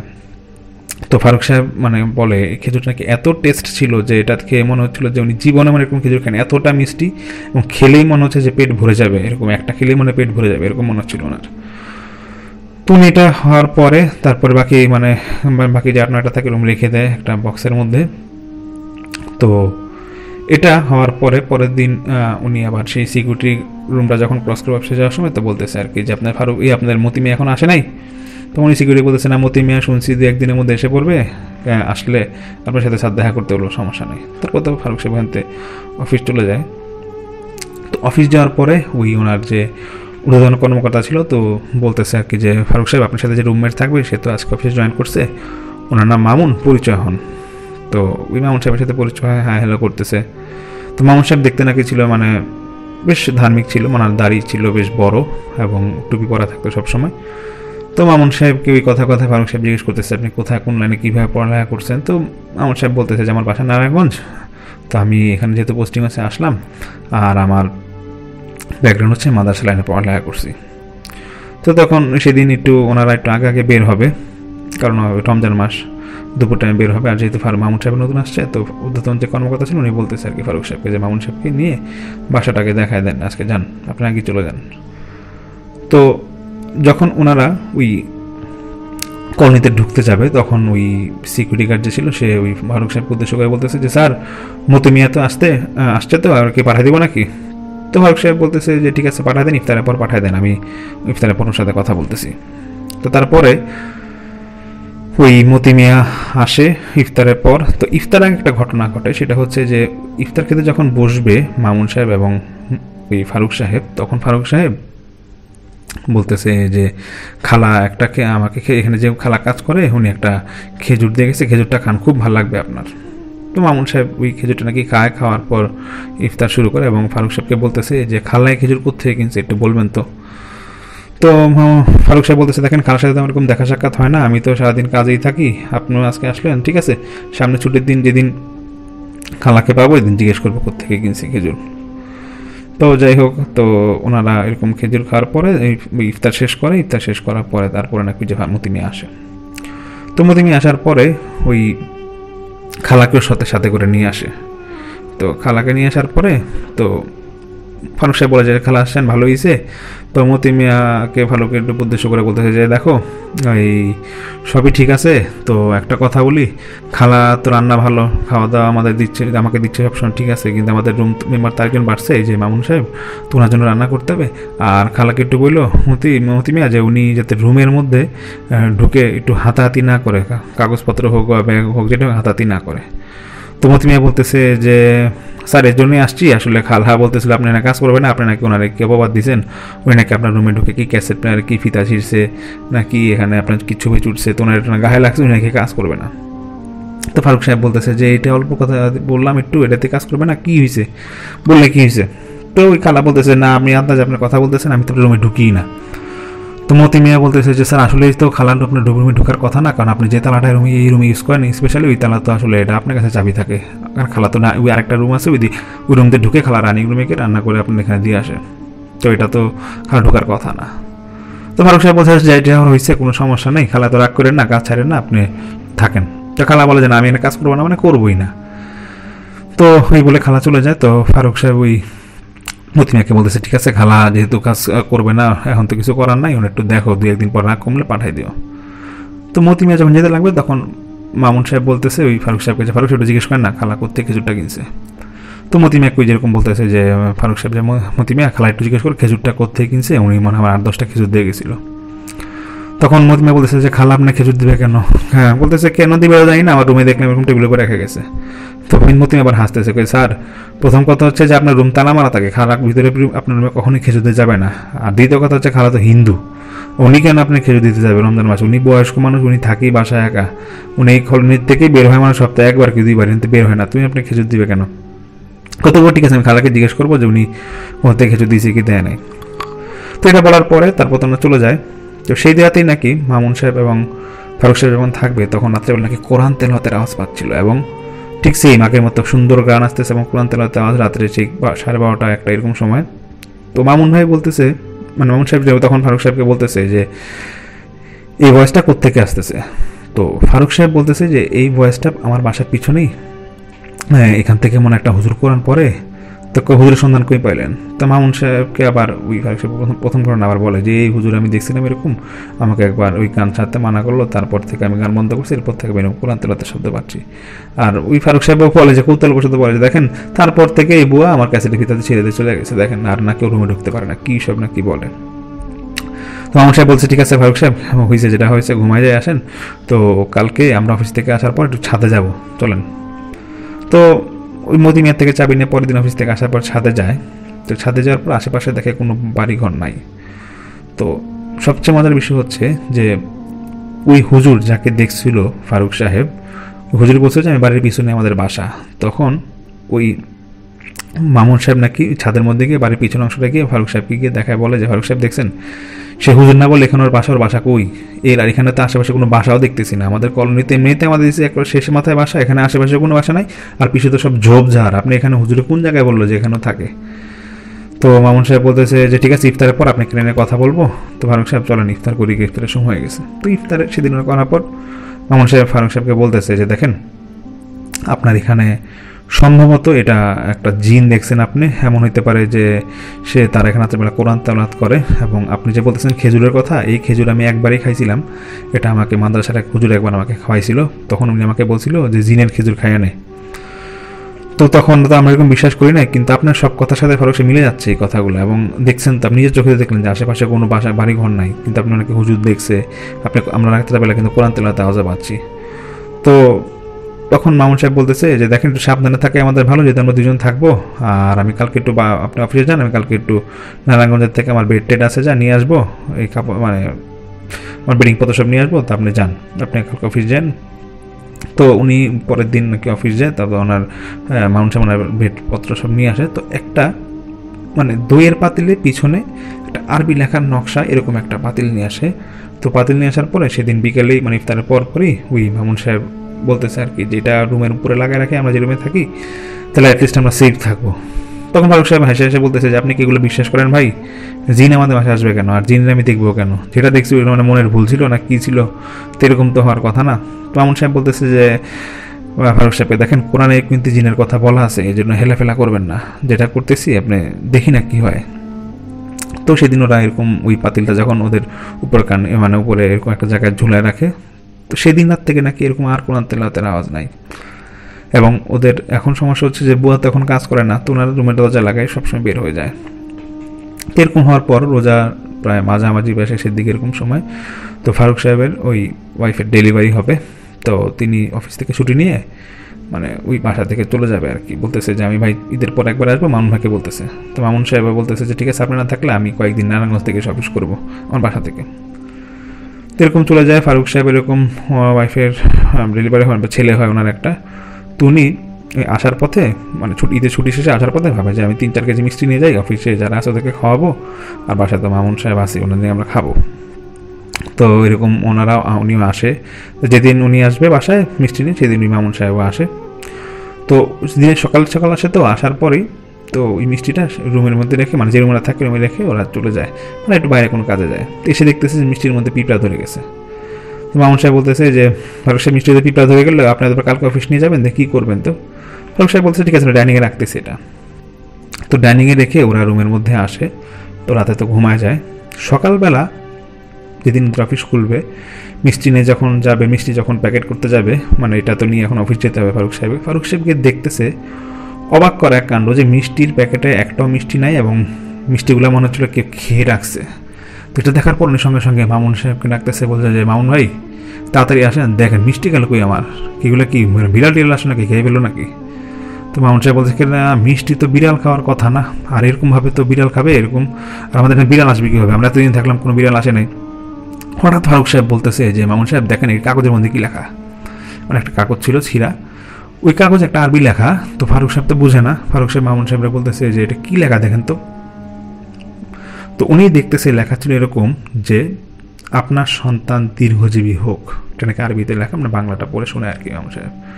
এটা শোনার পরে ফারুক সাহেব বলে যে, না, এটা হইতেই পারে না। এখানে আপনি বুঝলাম না। তো মামুন সাহেব বলতেছে যে, না, ভাই, আমি তাকে বলছিলাম এই বাসায়। হয়তো বা কোনো কিছু মানে কোনো জিনের মানে নজর আছে এই বাসায়। তো দেখলেন তো আপনার সাথে অনেক কত কাহিনী ঘটছে। তো ফারুক সাহেব তো কোনো মতেই বিশ্বাস করবে না। উনি বলছে না, এটা কোনো বিড়াল খাইছে বা অন্য কিছু হয়েছে, এটা এটা এখানে জিন আসার কথাই না। তো সেই মুহূর্তে মামুন সাহেব বলে, ঠিক আছে, আপনি, আমরা অফিসে যাই। জোরের সময় আমাদের যে মসজিদের ইমাম আছে ওই অফিসে ওইখানে ওনার সাথে কথা বলব। ওনাকে লেখাটা দেখায় না এটা আপনার কাছে রাখেন কাগজটা। তো ঠিক ঠিক জোরের সময় এরকম দেখায়, দেখানোর পরে ওই ম্যাম ঠিক সেম কথাই বলে যে, ফারুক সাহেব, এটার মানে হচ্ছে যে আপনার সন্তান দীর্ঘজীবী হোক। এটা শোনার পর ফারুক সাহেব তো মামুন সাহেবরে বলে যে, ভাই, ঘটনাতে কিছু বুঝতেছি না। তিমাম সাহেব বলে যে, কী হয়েছে তখন ফারুক সাহেব পুরোটা ঘটনা খুলে বলে যে, আমরা এরকম বাসায় উঠি আমি আমি প্রথম এরকম আমাকে এক হুজুর দেখছি বা এরকম এ টু জের সব ঘটনা খুলে বলে। ঘটনা খুলে বলার পর ওই ইমাম সাহেব বলতেছে দেখেন, ওই রাতে যে কোরআন তেলাওয়াত শুনেন, সুগন্ধে আসে, এটা কিন্তু অনেক সময় দেখা যায় জিন, ভালো জিন যদি কখনো কোনো কোরআন তেলাওয়াত করে, তখন এই গন্ধগুলো আসে এবং সুন্দর গন্ধ আসে এবং ওদের কোরআন তেলাওয়াত শোনা যায়। আর আপনি যে বলতেছেন আপনি খেজুর পাইছেন, তো আপনি তো নিজে বলতেছেন যে আগে নামাজ কালাম খুব একটা পড়তেন না, তো আপনি নামাজ পড়ান, নামাজ কালাম এরকম শুরু করছেন ওই কোরআন তেলাওয়াত মানে শোনার পর থেকে। তো হয়তো পারে যে জিন আপনার প্রতি খুশি হয়েছে, এই জন্য আপনাকে এটা খেজুর দিয়ে গেছে। তো মামুন সাহেব বলতেছে যে, আমি তো মাদ্রাসা লাইনে পড়ছি ইমাম সাহেব, আমি তো জানি এগুলা। তো ফারুক সাহেবরা বলছিলাম, উনি বিশ্বাস করে না। তো যাকে, আপনি বলছেন এখন উনি তো অ্যাটলিস্ট বিশ্বাস করুক। তো হু, ইমাম সাহেব বলতেছে, ফারুক সাহেবকে দেখেন, যেটা ব্যাপার হয়েছে আপনার তো এখানে থাকতেছেন। যদি সম্ভব হয়, আপনার বাসাটা এই মুহূর্তে এখানে থাকেন না। আর কারণ আপনার যদি দুজন একা থাকেন, তো আপনার সেফটির জন্য ভালো হোক বা খারাপ জিনিস হোক, যেটাই হোক, আপনারা দেখেন যে অন্য কোনো জায়গায় থাকার ব্যবস্থা করা যায় নাকি। আর এই তো তো এখন এটা বলার পরে ফারুক সাহেব এবং মামুন সাহেব নাকি দুজনেই বাসাটা নাকি এক দুই একদিনের মধ্যে এরকম ছেড়ে দেয় এবং আমার যে চারতলা আন্টি, উনি বলে যে তারপর ওনার ভাই ওনার কাছে এসে বেশ কয়েকদিন ছিল মাসখানিক। তারপরে ওনার ফ্যামিলি ওই যে যখন না বাচ্চা, ছোটো বাচ্চারা চল্লিশ দিন পার হয়, তখন ঢাকায় ওনার ওই কলোনিতে থাকেই না কলোনির পাশে এক জায়গায় বাসা ভাড়া করে থাকে এবং ওই মামুন সাহেব নাকি কলোনিতেই রয়ে গেছিল কোনো একটা বাসায়। তো এটাই ছিল ঘটনা। আমি যেহেতু ভর্তি কথা ঘটনা শেয়ার করি, আমার সে আন্টি রেগুলার আমাদের, এই আমার ঘটনাগুলো শুনে, এই প্রোগ্রাম আমাদের শোটা শুনে, তো উনি বলেছিল এই ঘটনা শেয়ার করার জন্য। তো যদি ওনার নাম বলতে মানা করেছে, তো ফারুক ওনার ভাইয়ের নাম, এটা জাস্ট আমি ভুলে গেলাম এবং পুরান ঢাকার কোথায় করণে আমি এটা বলতে মানা করেছিল, দেখে আমি শেয়ার করলাম না। আশা করি আপনাদের ঘটনাটা ভালো লাগবে এবং অবশ্যই আমাকে জানাবেন। আসসালামু আলাইকুম। Welcome back thank you so much Samir ভাই আপনার প্রথম স্টোরির জন্য। আমি দেখতে পাচ্ছি আমাদের সাথে অনেকেই আছে, অনেকেই আমাদের সাথে যোগ দিয়েছে এবং আমাদের প্রতিটা এপিসোডে অনেক নতুন নতুন আমরা ভিউয়ার্স পাচ্ছি এবং ভিউয়ার্স পাচ্ছি এরকমভাবে যে যারা আসছে তারা লাস্ট এপিসোডে বেশ ভালো কমেন্ট পেয়েছি। আমাদের সাথে আছে তুষার আজমির, আমাদের সাথে আছে আই এম ঋতু, বর্ষণ মুরসালিন, আমাদের সাথে আছে নাফিউল ইসলাম আমাদের সাথে আছে শামসুল আলম আছে রাহাত চৌধুরী, হেমন্ত খান, শাহরিয়ার হক আরও আছেন মিসেস নাহিদ কথা চক্রবর্তী আছে, আমাদের সাথে আছে এমডি রাশেদ হোসেন, তিনি টঙ্গী থেকে, সানজিদা সুচি আছে, ববি ইসলাম আছে আছে হচ্ছে রনি শামিউল, আমাদের সাথে আছে এভারগ্রিন ওয়ার্ল্ড, তানভীর ফাইরুজ, আছে তাশরিয়ার আমাদের সাথে আছে আর্থ ট্রাভেলার রাফায়েত জাহান, আরও আছে সজীব হোসেন ফয়সাল হাসান, আমাদের সাথে আছে শাহাবুল ইসলাম, প্রথম থেকে প্রথম থেকেই শুনছি, প্রথম শুনছে তিনি মালয়েশিয়া থেকে আছেন। আরও আছেন রাতুল মল্লিক, আমাদের সাথে আছেন রিদি আহমেদ, আমাদের সাথে আছে বাড়িধারা থেকে মিসেস নাহিদ আরও অনেকেই। তো আমরা পরবর্তী অতিথির কাছে চলে যাচ্ছি, তার ঘটনা শুনবার জন্য সাথেই থাকুন। আসসালামু আলাইকুম লিসনার্স আমি মিরপুর বারো কালশি থেকে রিয়াদ ফেরদৌস বলছি। ঘটনাটি আমি পেয়েছি শাহেদ ভাইয়ের কাছ থেকে। শাহেদ ভাইয়ের সাথে ঘটনাটি ঘটেছিল। ওনার বাসা হচ্ছে কুষ্টিয়া জেলার মিরপুর উপজেলার নিমতলা গ্রামে। শাহেদ ভাই ওই গ্রামে একটি মাদ্রাসায় পড়েন। মাদ্রাসায় থেকে তার বাসা ছিল প্রায় তিন কিলোমিটারের মতন। উনি সেই বছর এসএসসি এক্সাম দিয়েছিলেন এবং সরাসরি ঘটনায় চলে যাই উনি যে মাদ্রাসায় পড়তেন সেই মাদ্রাসা এসএসসি ব্যাচকে নিয়ে প্রতি বছর শিক্ষা সফরের আয়োজন করত। তো সেই বছরে আসলে ব্যতিক্রম ছিল না। ওনাদের শিক্ষা সফরের দিনটি ছিল দশ মার্চ দুই হাজার উনিশ। ওই দিন সকাল আটটার দিকে ওনারা শিক্ষা সফরের উদ্দেশ্যে বের হয়ে যান। সারাদিন ওনারা অনেক মজা করেন। ফিরতে ফিরতে রাত প্রায় এগারোটা তিরিশের মতো বেজে যায়। গ্রামে এগারোটা তিরিশ অনেক রাত, কিন্তু ওনাকে বাসায় ফিরতে হবে। ওনার বন্ধুরা আসলে বাসায় একা ফিরতে ওনাকে নিষেধ করছিল। ওনার ওখানেই কারও বাসায় থেকে যেতে বলছিল। কিন্তু ওনার থাকার মোটেও ইচ্ছা ছিল না, কারণ তার বন্ধু যে বাসা যেই জায়গাটাতে, সেই জায়গাটা মোটেও ভালো ছিল না। চুরি, ডাকাতি, ছিনতাইয়ের অনেক ভয় ছিল। বাসা থেকে যেহেতু দূরত্ব তিন থেকে সাড়ে তিন কিলোমিটারের মতন, উনি বাসায় যাওয়ার সিদ্ধান্ত নেন। ওখানে এক বন্ধুর কাছ থেকে সাইকেল নিয়ে বাসার উদ্দেশ্যে রওনা করেন। রাতটা ছিল চমৎকার, পূর্ণিমার রাত। অনেক বড় একটা মাঠ, মাঠের পাশেই রাস্তা আর মাঠের পরেই ওনাদের গ্রাম। আসলেই খুব এনজয় করছিলেন প্রথম প্রথম সাইকেল জার্নিটা সাইকেল চালাতে বেশ ভালো লাগছিল শীতের মধ্যে। যেহেতু শীতকাল ছিল, কুয়াশাও ছিল। তবে সাইকেল চালানোর একটা সময় উনি কুকুর বা শিয়াল জাতীয় কোনো কিছুর সাথে ওনার সাইকেলটা বাড়ি খায়, এতে উনি সাইকেল সহই রাস্তায় পড়ে যান। সাথে সাথে উঠে পড়েন এবং উঠে পড়ার পরে উনি খোঁজেন যে কিসের সাথে উনি বাড়ি খেলেন বাট উনি আসলে কোনো কিছু পায় না। উনি এতে কিছুটা ব্যথাও পান। আবার উনি সাইকেল চালানো শুরু করে। তো কিছুক্ষণ যাওয়ার পর উনি ফিল করেন যে ওনাকে কেউ ফলো করছে। যথারীতি পেছনে তাকায় বাট কিছুই দেখতে পায় না।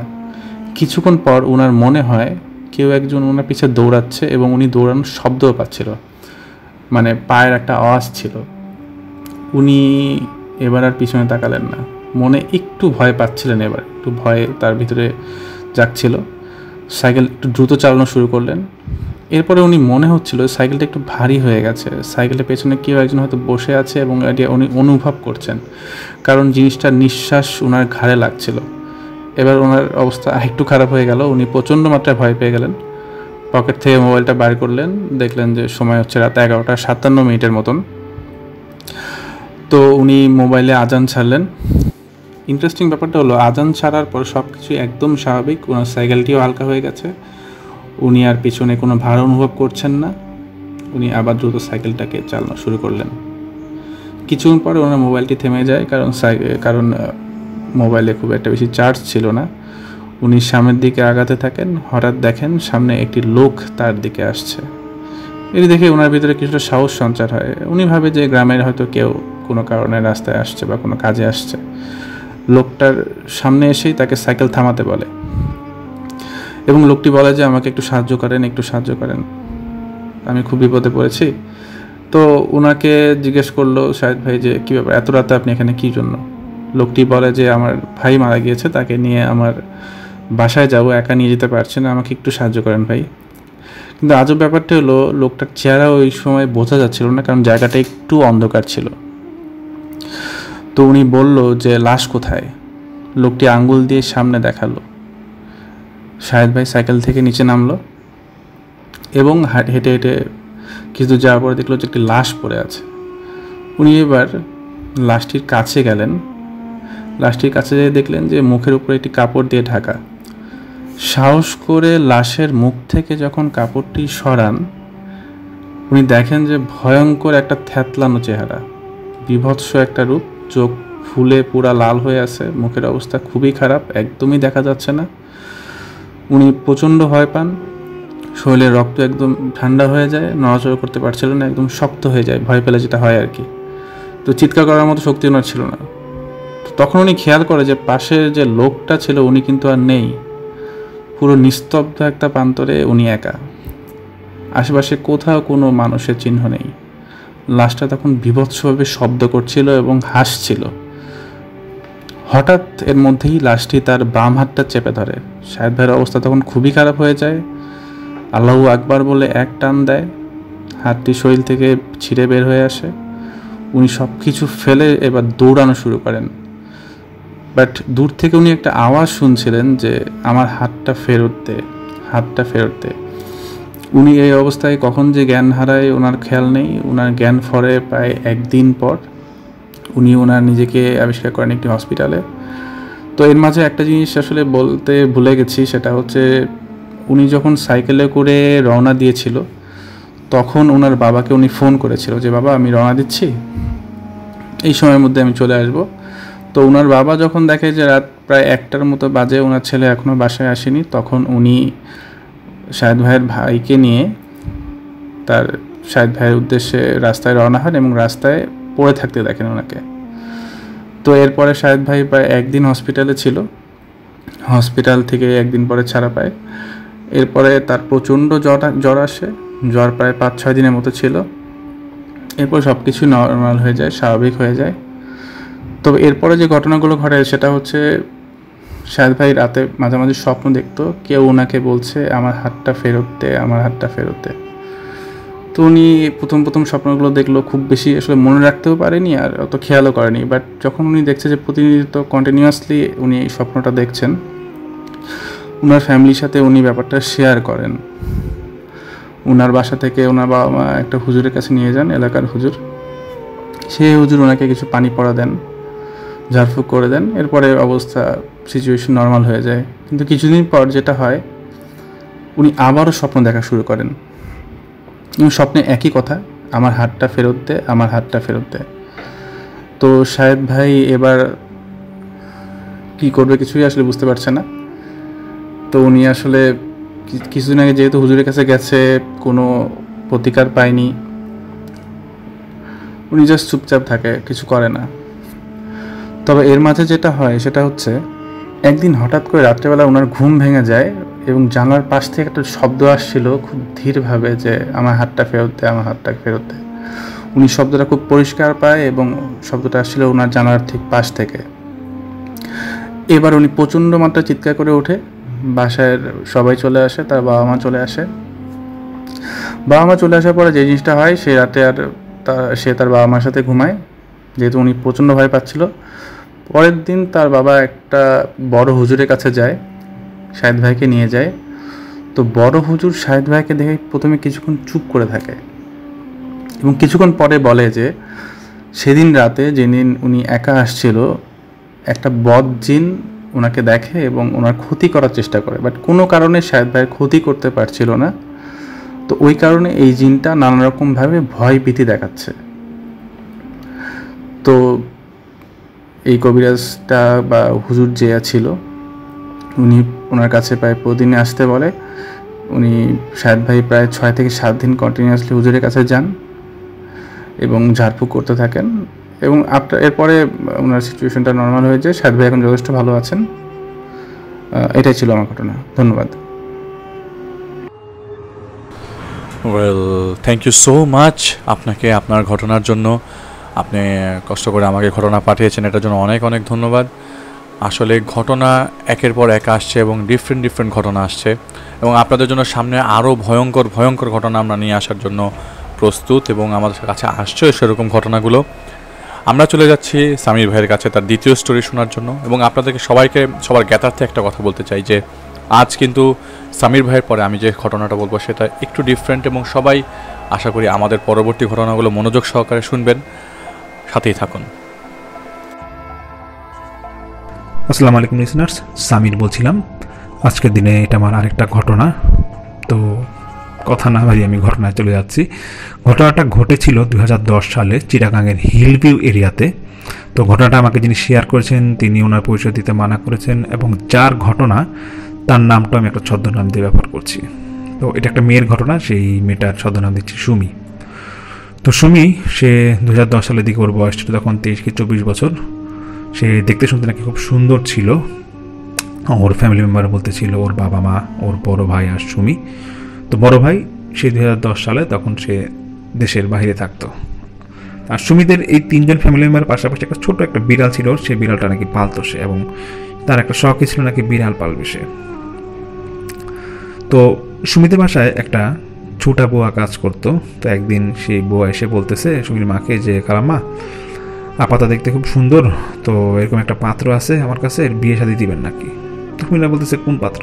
তো বলতেছে যে, আমাদের এই যে আমি যে কাজ করার একটা বাসায়, দুই বিল্ডিং পরেই, দোতলা যে বাসাটা দেখতেছেন ওই বেশ বাসার মালিকের ছেলে, তো এরকম আপনার মেয়েকে মনে হয় দেখছে, রাস্তাঘাটে কোথাও দেখছে, তো কোনোভাবে ওরা খোঁজ নিয়েছে যে এই বাসায় থাকে, তো এরকম ওই ছেলের মার পছন্দ হয়েছে। তো ওই ছেলের মা আপনার ফোন নাম্বার চাচ্ছিল। তা আমি কি দিব নাকি?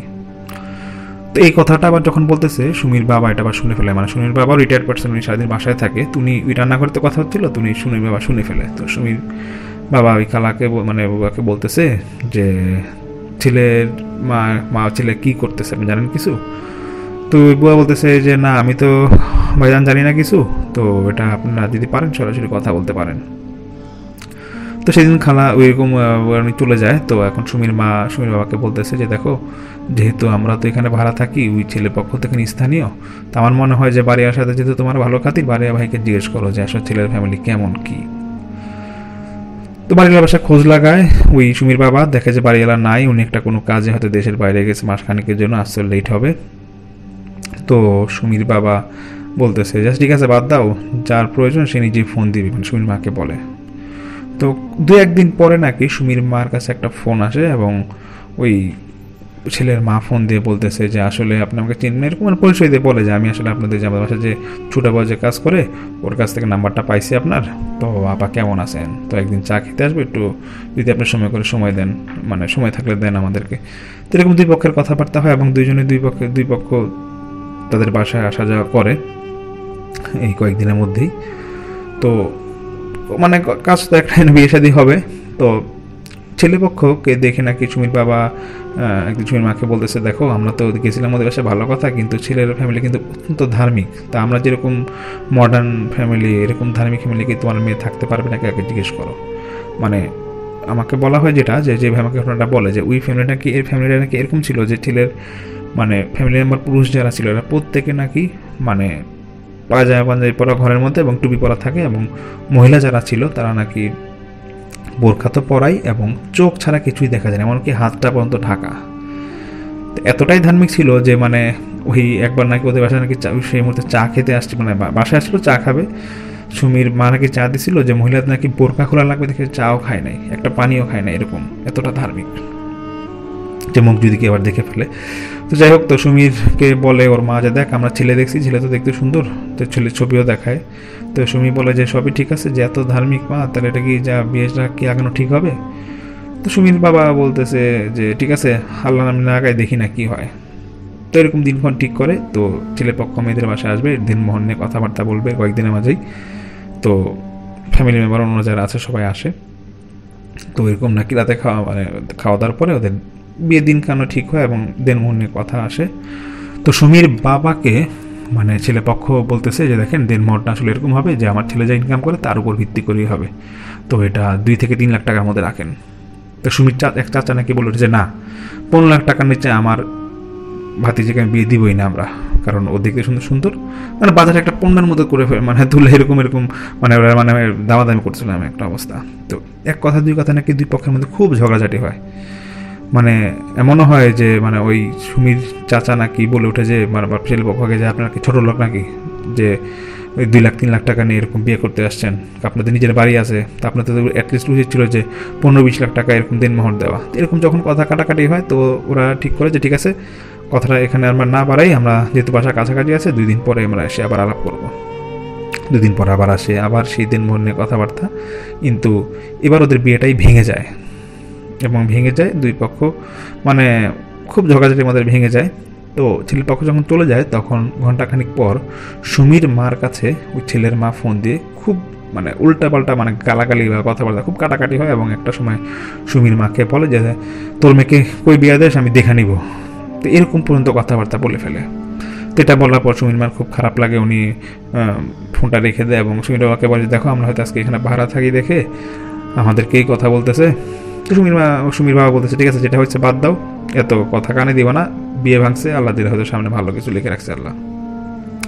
তো সুমিরও মন খারাপ। তো সুমির বাবা ওই মেয়েকে বলতেছে আর কি, সে রাতে যে তুই এক কাজ কর, তুই কাল সকালে তোর যেহেতু এখন ক্লাসও নাই, বন্ধ, তুই এক কাজ করবি, তোর খালার বাসায় তুই চলে যাবি এখানে গিয়ে থাকবি কয়েকদিন। এখানে গিয়ে তোর মন ভালো থাকবে, এত টেনশনে কিছু নেই। বিয়ে একটা ভাঙছে, এরকম দশটা হবে। তো সুমি নাকি পরের দিনও খালা বাসা পরের দিন চলে যায়। তো বুয়া এর মধ্যেই কাজ করতে আসে ওদের বাসায়। তো কোনো কাজ প্রসঙ্গে মানে কোনো কথার প্রসঙ্গে বুয়া ওই সুমির মাকে বলতেছে যে খালাম্মা সুমি আপার রুমে তো জানলার মধ্যে ময়লা জমে গেছে, তো আমি কি এগুলো পরিষ্কার করে দিব? কারণ সুমি আপা নাই, যদি ঘরটা পরিষ্কার করতে পারতাম, তাহলে তো ভালো হয় মনে হয়। আর ফ্যান ওর মধ্যেও দেখতেছি ওল পরে আছে, এগুলো যদি পরিষ্কার করে দিই, তাহলে ভালোই তো। তো সুমির মা নাকি বলতেছে যে, ঠিক আছে, তুমি যখন ফ্যান পরিষ্কার করবে, আবার রুম পরিষ্কার করবে, ঘর বিছনা থেকে চাদরটা সরায় ফেলো। চলো তখন নাকি ওই খালা কাজ করতে করতে হঠাৎ করে সুমিন মানে সে বলতেছে যে, খালা, চাদরের মধ্যে পানি পড়ে গেছে, এখন কি করব? তো বলতেছে তুমি এক কাজ করো, ওই পানিটা ওই যেতে পড়ছে ছাদে গিয়ে তোষকটা শুকাতে দিয়ে আসো যাও। তো এরকম শুকাতে দেওয়ার পর, আবার পরে ওই খালাই বিকেলের দিকে চাদর মানে উনি কাজের মাঝখান দিয়ে এসে আবার পরে এই তোষকটা বাসায় দিয়ে যায় সুমিতে বাসায় দিয়ে যায়। তো ঠিক একদিন পরে সুমি আসে। তো সুমি আসার পরে যখন ও রুমে যাবে, তো ও রুমে যাওয়ার পর ওর যে বিড়ালটা ছিল, সে নাকি আসার পরে বিড়ালটাকে নিয়ে রুমে যাবে। মানে সন্ধ্যার পর পর সুমি আসে। তো সুমি দেখতেছে যে বিড়ালটাকে যতই ডাকে, সে রুমের সুমি রুমের মধ্যে ঢুকে না। মানে রুমের আশপাশ দিয়ে ঘুরতেছে বাট মানে সুমির রুমের মধ্যে ঢুকে না সুমির সুমিকে মানে ডাকতেছে বিড়ালটা, মেয়া মেয়া করে এরকম ডাকতেছে। কিন্তু এটা মানে সুমি ততটা খেয়াল করে না, কিন্তু যখন সে রাতে ঘুমাতে যাবে, সাড়ে দশটা এগারোটার দিকে তখন মানে বিড়ালটাকে রুমের মধ্যে মানে অনেক জোর করে নিয়ে আসে এবং আনার পরে দরজা আটকায় দেয়। সুমি রুম রুমে দরজা আটকায় দেয়। সুমি খেয়াল করতেছে যে ওর বিড়ালটা নাকি মানে রুমের মধ্যে আসার পর থেকে ছটফট করতেছে। মানে এখান থেকে ওখানে যাবে। রুমের রুমের সাথে একটা বারান্দা ছিল। মানে বারান্দা যাবে, আবার আসতেছে। মানে দৌড়াদৌড়ি করতেছে, ছুটাছুটি করতেছে। তো সুমি মাঝে মাঝে বিড়ালটাকে খাটে নিয়ে আসতো। মানে বিড়ালটাকে নাকি খাটে আনার পরেই মানে বিড়ালটা মানে লাভ দিয়ে নিচে নেমে যাচ্ছে একটু পর পর তো সুমি মনে করছে যে হয়তো সুমি কয়েকদিন ছিল না, এর জন্য হয়তো বিড়ালটা এরকম করতেছে। তো সুমি ওই কানের মধ্যে হেডফোন দিয়ে মোবাইলে গান শুনতেছিল। আর ও ভাবতেছে যে ঠিক আছে, বিড়াল বিড়াল জায়গায় থাক। তো ঘন্টাখানিক যখন ও গান শুনতেছে, তখন ঠিক আগের মধ্যেই দেখছে বিড়ালটাকে, যে সে বিড়ালটা আগের মধ্যে এখানে একবার রুমে যায়, আবার বারান্দা যায়, ছোটাছুটি করতেছে। তো এই গান শুনতে শুনতে ঘুমি, সুমি ঘুমায় যায়। হঠাৎ ফজরের ঠিক পরে ওর ঘুম ভাঙে, ও দেখতেছে ওর বিড়ালটা নাই। এবং না থাকার সঙ্গে সঙ্গে দরজার লক তাড়াতাড়ি ওই সকালবেলায় নাকি ছটা সাড়ে ছটার দিকে চিলাচিলি শুরু করেছে যে, মা, বিড়াল কই? তো সুমিনা বলছে, বিড়াল কই? মানে তোর রুমিতে বিড়াল ছিল, বিড়াল আবার কই থাকবে? তো বলতেছে, সকাল লোক দেখব বিড়াল কই? সুমি বলছে, না, বিড়াল কই? আমার বিড়াল তুমি এনে দাও, বিড়াল দেখ, বিড়াল পাইতেছি না আমি। তো বারান্দা দিয়ে সুমি খেয়াল করে যে বিড়ালটা ওদের বাসা ছিল মনে হয় তিনতলা কি চারতলা, এরকম ছিল, দেখতেছে যে বিড়ালটা নিচে পড়ে আছে এবং মরা অবস্থায়। সুমি এক দৌড়ে গিয়ে নিচে গিয়ে দেখে বিড়ালটা ঠিক ঠিক ওই যে বারান্দা থেকে হয়তো লাভ দিছে বা যেভাবে পড়ে মরে আছে। সেদিন তো সুমির খুবই মন খারাপ। এবং সে বাসায় এসে তো খুবই কান্নাকাটি শুরু করছে যে "মা, আমার বিড়াল কেমনে মরলাম আমি কিছুই বুঝলাম না। তোর বাবা মা অনেক সান্ত্বনা দেয় যে ঠিক আছে যেটা হওয়ার হয়েছে একটা বিড়াল গেছে একটা কিনে দিব। তো ওর- ওর সুমির বাবা আমার মন খারাপ। তো সেই দিন যেদিন বিড়াল মারা যেলো তো সকালে দেখল সুমি। সেদিন রাত্রেবেলা নাকি সুমি ঘুমাতে যাবে রাতে। হঠাৎ করে রাতে দুইটা তিনটার দিকে ওর মানে ঘুমের মধ্যেই ও হঠাৎ করে চিৎকার দিয়ে ওঠে এবং চিৎকার ওঠে মানে ও কোমরের দিকে নাকি ধরে আছে। সঙ্গে সঙ্গে ওর মা আসে, এসে বলছে কী হয়েছে তোর? বলছে মা, আমার কোমর কেন জানি ব্যথা করতেছে, পিছন সাইডটা, আমি বুঝতেছি না। তো সুমির মা বলতেছে যে, ঠিক আছে পানি খেয়ে নে, পানি খেয়ে ঘুম দে। তো তুমি মা বলতে তুই এত রাতে চিলাচিলি করলি, এরকম বুঝলাম না, কি হইল? আচ্ছা যাক, পানি খেয়ে ঘুম দে। তো সে নাকি পানি খেয়ে ঘুম দেয়। ঘুম দেওয়ার পরে আবার সকালে যখন উঠে, সুমি ওর মাকে বলতেছে যে, মা, আমি কিছু বুঝলাম না, কোমর ব্যথাটা এখনও যায়নি দেখো তো, আমার জ্বলতেছে মনে পিছু একটু দেখো তো কি? তো সুমির মা দেখতেছে যে একটা পিছনে, ঠিক কোমরের পিছনে একটা আঁচড়ের দাগ। তো সুমিরে বলতেছে যে, তুই আঁচড়টা কীভাবে কোথেকে আসলো? তো সুমি বলতেছে যে আমি কিছুই বলতে পারব না। তবে গতকাল যে আমি রাত্রে দেখলাম যে চিল্লাচিল্লি করতেছিলাম, ওই যে ঘুমের মধ্যে সমস্যা হচ্ছিলাম একটা বাজে স্বপ্ন দেখছি।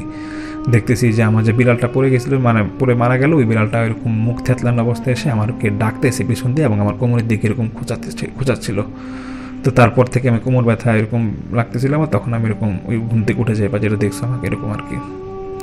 তো এটা দেখার পর সুমির মা বলতেছে যে আচ্ছা ঠিক আছে, যেটা আর হয়েছে, তো তুই হয়তো তুই ঘুমের মধ্যে নিজের গায়ে নিজে আচর দিছিলি, তো তুই এক কাজ করতে এখানে মলম লাগায় রাখ, ওই যে মলম আছে, নেপালের মলম আছে, লাগায় রাখ। আচ্ছা তো এটা হইল, সেই রাতেই সুমির নাকি যখন রাতে ঘুমাতে যাবে ও শোয়ার ঠিক কতক্ষণ মানে কিছুক্ষণের মধ্যেই ওর নাকি শরীর খুব ঘামাচ্ছিল, ফ্যান ছাড়া ঘামাচ্ছিল। তো সুমির ভাই যেহেতু বিদেশে থাকে, তো ওই সুমির মা নাকি প্রায় রাতেই একটা দেড়টা পর্যন্ত ওনার ছেলের সাথে মানে সুমির ভাইয়ের সাথে ফোনে কথা বলতো। তো সুমির রুমের পাশে ছিল ড্রয়িং রুম, তো এখানে সুমির মা কথা বলতো। তো সুমির রুমের দরজাটা খোলা ছিল। তো সুমি যখন রুম মানে ও যখন রুমে যায় সুমি যখন শুয়েছিল, যখন ওর গা ঘামাচ্ছিল, তখন ওর মাকে ডাকতেছে যে মা, দেখো আমার শরীরে কেমন ঘামাচ্ছে, আমার খুব জ্বর জ্বর লাগতেছে আর আমার ঘাড়ের দিকে প্রচণ্ড ব্যথা করতেছে আর জ্বলতেছে। ওর মা দেখে যে ওর প্রচণ্ড জ্বর এবং আসলেই ওর মানে পুরোটা শরীর মানে কেমন যেন ফুলে যাচ্ছিল এমন মানে ফোলা ফোলা লাগতেছিল। তো সুমির বাবাকে তাড়াতাড়ি ডাক দেয় এবং ওই বাথরুমে গিয়ে মাথায় পানি দিচ্ছিল, মাথার মধ্যে যে জ্বর যেহেতু বেশি। তো জ্বর একবার কম না, তখন নাকি একশো তিন চার ডিগ্রি হঠাৎ করে জ্বর উঠে গেছে। তো সুমিন হঠাৎ করে লক্ষ্য করতেছে যখন মাথায় পানি দিবে যে ঘাড়ের ঠিক মানে চুল যেখানে শেষ, যে ঘাটের যে অংশটা শুরু হয়, এখানে নাকি মানে নীল আকারে অনেকটা লামের মতো, আরবিতে লাম যেরকম লাগে মানে লেখা ওইরকম একটা স্পট উনি দেখতেছে। এটা দেখার পর উনি বলতেছে, তোর কি এখানে ধরলে মানে ওই জায়গাটা ধরে সুমিন ভাই বলতেছে, তোর কি এখানে জলে বলছে হ্যাঁ মা, এখানে খুব জ্বলতেছে, বা আমার কী হয়েছে বুঝলাম না, আমার হঠাৎ করে জ্বর আসলে আমি শুতে যাব। তো মা, একটু তাড়াতাড়ি বেশি করে পানি দাও, আমার ভালো লাগতেছে না। তো সেই রাতেই হঠাৎ করে যখন এরকম অসুস্থ হয়ে যায়, তখন সুমির বাবা ওই বাড়িওয়ালার ছেলেকে বলতেছে যে, বাবা, আমার মেয়ে তো অসুস্থ গেছে, তোমার গাড়িটা যদি দিতা, তাহলে আমার, তোমাদের ড্রাইভার সহ তাহলে আমি একটু হসপিটাল নিয়ে যেতাম, এত রাতে তো এখান থেকে যাওয়া অসম্ভব। তো বাড়িওয়ালার ছেলে বলে যে না আঙ্কেল নিয়ে যান, সমস্যা নেই। তো ডাক্তার কাছে যায়, ডাক্তার কাছে যাওয়ার পর একটু জ্বর টর কমে এবং ডাক্তার বলতেছে যে, আপনি যেহেতু ঘাড়ে এরকম ব্যথা বলতেছেন, আপনি এখানে একটা টেস্ট দিচ্ছি, আপনি টেস্ট করান। তো দেখি আপনার কী সমস্যা জানা যাবে। পরের দিন সুমি এরকম ওর জ্বর একটু কম কিন্তু ওর পুরো মেরুদণ্ড নাকি ঘাড়ের থেকে পুরো কোমর পর্যন্ত মেরুদণ্ডে ব্যথা। এবং সবচেয়ে মজার বিষয় হচ্ছে সে যখনই খাটে শুইতে যায় তখনই ওর ব্যথাটা থাকে কিন্তু যখন হাঁটা চলা করে তখন নাকি ওর ব্যথা এরকম থাকে না। তো এটা যখন হচ্ছিল তখন এটা তো মানে একটা মানে ওর মা কি বলতেছে যে, "মা, এটা কেমন ব্যথা? আমি বুঝলাম না। খাটে শুইতে গেলে আমার শুধু ব্যথা করে পিছন সাইডটা কিন্তু যখন আমি সোজা হয়ে হাঁটতেছি কোনো সমস্যা নাই। এটা পরের দিনের ঘটনা আর কি। তো এটা হওয়ার পরে সুমির বাবা বলতেছে আচ্ছা ঠিক আছে, আমরা ওই টেস্টের রিপোর্ট আসুক, দেখি কি। এরকম টেস্টের রিপোর্ট আসে, ডাক্তার বলছে, কোনো সমস্যা নেই, সম্পূর্ণ সুস্থ, হয়তো ঘুমের মধ্যে কোনো সমস্যা হয়েছে মানে কাত হয়ে শুয়েছে বা ঘুমের মধ্যে কোনো সমস্যা ছিল দেখে এরকম পিঠের এই ব্যথাটা, আর ওইখান থেকে ভয় পেয়ে হয়তো জ্বর আসছে। দেখবেন জ্বরও ঠিক হয়ে গেছে, জ্বর নাই। ঠিক ঠিকই জ্বর ঠিক হয়ে যায়, কিন্তু সুমির মা খেয়াল করে যে ঘাড়ের দিকে যে নীল করে লেখা ছিল লামের মতো, ওই লেখাটা কিন্তু হালকা হালকা এখনও আছে। এবং সুমির একটাই কথা যে, মা, আমি শুইতে গেলে আমার এরকম পিঠে ব্যথা করে এবং কিন্তু আমি হাঁটাচলা করলে কিন্তু আমার খুব একটা ব্যথা নাই। তো এটা যখন রেগুলার হচ্ছিল মানে এরকম পাঁচ ছয় দিন যখন চলতেছে, তখন সুমির বাবা আরও দু একটা ডাক্তার দেখায় এবং ওখানে ওরা টেস্ট করে এবং ভালো ভালো জায়গায় নাকি ডাক্তার দেখায়। ঠিক সেম কথা ডাক্তারে ওর কোনো সমস্যা নাই, এটা মানসিক সমস্যা কিনা জানি না, কিন্তু ওর পিঠের ব্যথা বলতে কিছুই নাই। আর উচুমিন মা দেখা যায়, দেখেন নীল একটা দাগ দেখা যায়, এরকম লাম, এটা কী? তো ডাক্তার বলতেছে, হয়তো এরকম হতে পারে, হয়তো হালকা ব্যথা ব্যথা পাইছে, এটা ঠিক হয়ে যাবে, আপনি ডাক্তার, ডাক্তারের মতো ওষুধ দেয়। তো এরকম যখন হচ্ছে অনুসুমির মা দেখতেছে, ওনার মেয়েও নাকি একটু মানে আগে যেরকম স্বাস্থ্য ছিল, এরকম শুকায় যাচ্ছিল। তো একদিন সুমি এরকম ওর খাটে হেলান দিয়ে বসে আছে। ওর ব্যথা আগে থেকে এখন খানিকটা হালকা একটুকু নাকি কম। তো সুমি ওর মাকে রাত্রেবেলা বলতেছে যে, এই এগারোটা সাড়ে এগারোটার দিকে যে মা আমাকে একটু চিনি শরবত বানায় দাও, আমার খুব মাথা ব্যথা করতেছে। তো সুমির মা এরকম চিনি শরবত নাকি দেয়। তো সুমি বলতেছে যে, মিষ্টি কম হয়েছে তুমি আর একটু চিনি কোটাটা নিয়ে আমাকে দিয়ে যাও, আমি আমার মধ্যে চিনি দিয়ে নিব। সুমির মা বলতেছে যে দেখ, আমি তোকে তিন চামচ চিনি দিচ্ছি তারপর যদি একটু, এক গ্লাস পানি তারও চিনি লাগে, তাহলে কেমনে হবে? তো কেন তুই আমাকে চিনি কোটা দিয়ে যাও।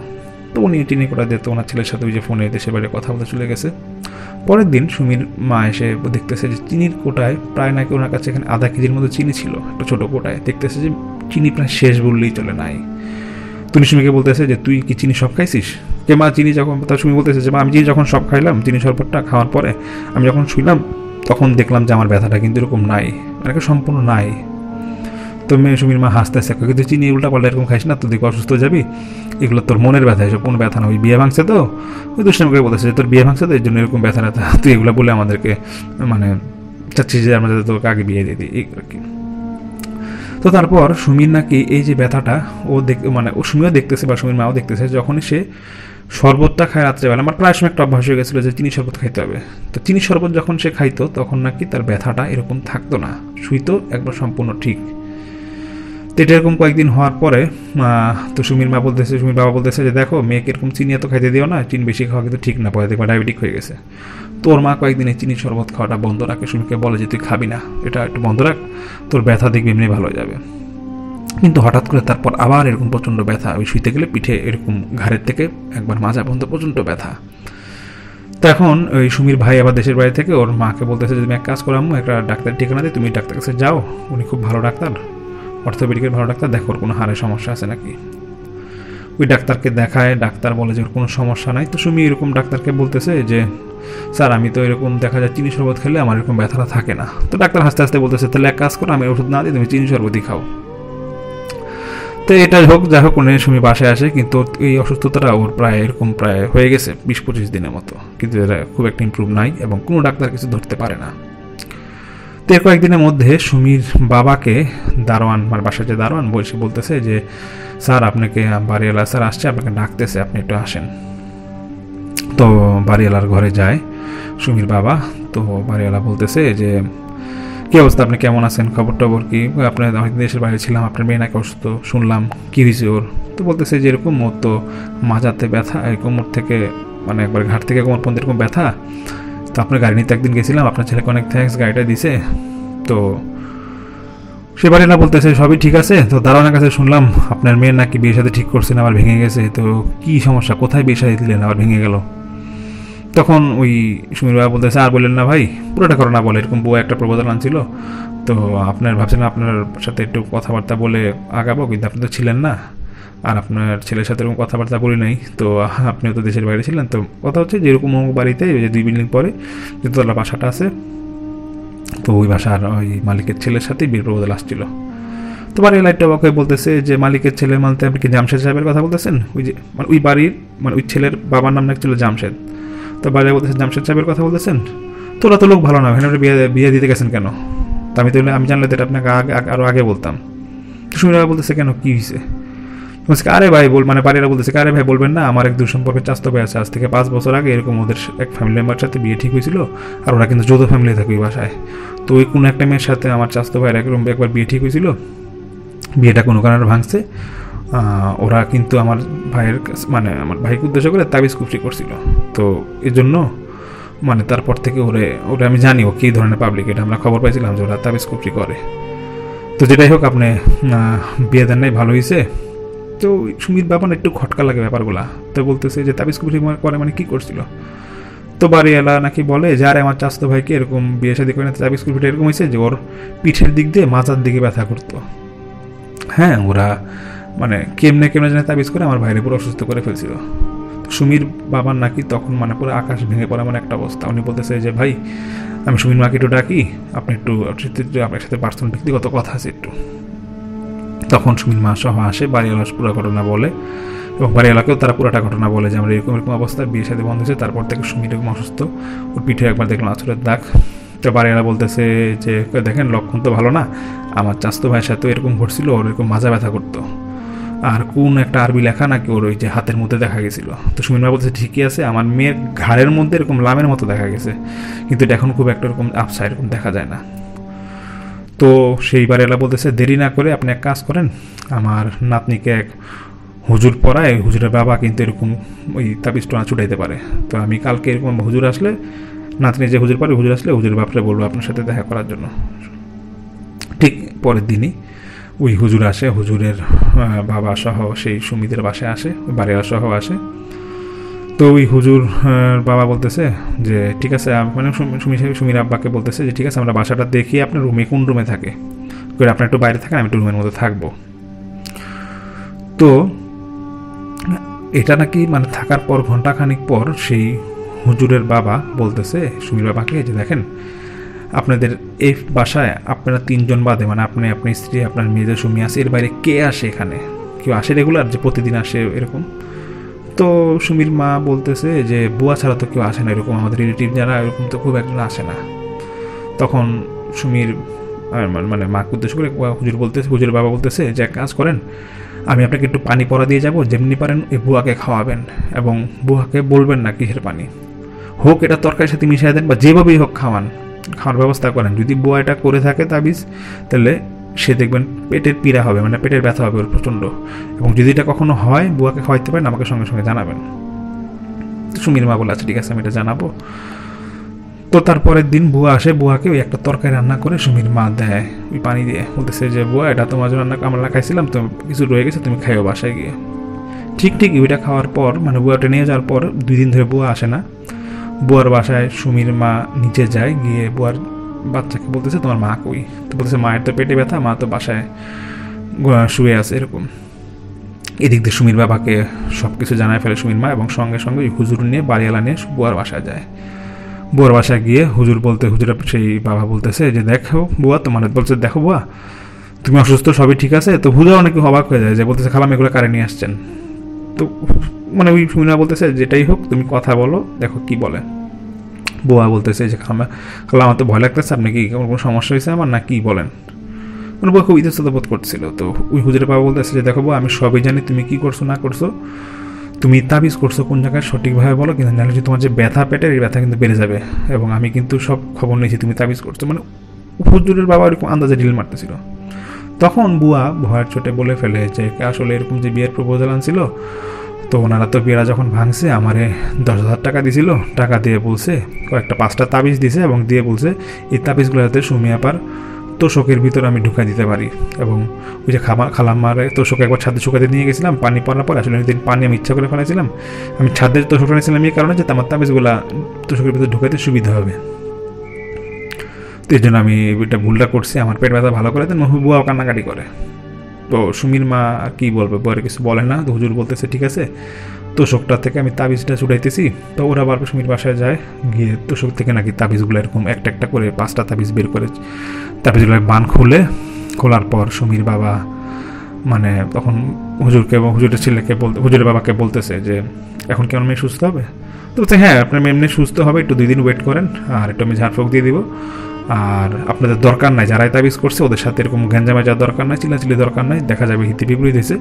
যদি সম্ভব হয়, আপনারা এখানে যদি স্থানীয় না হয়ে থাকেন, এখানে ওই বাসার আশেপাশে থাকেন না। আর যদি থাকেনও আপনাদের মেয়ের বলা তো যায় না, কে কখন কোন ক্ষতি করে, না থাকাটাই মনে বেটার হবে।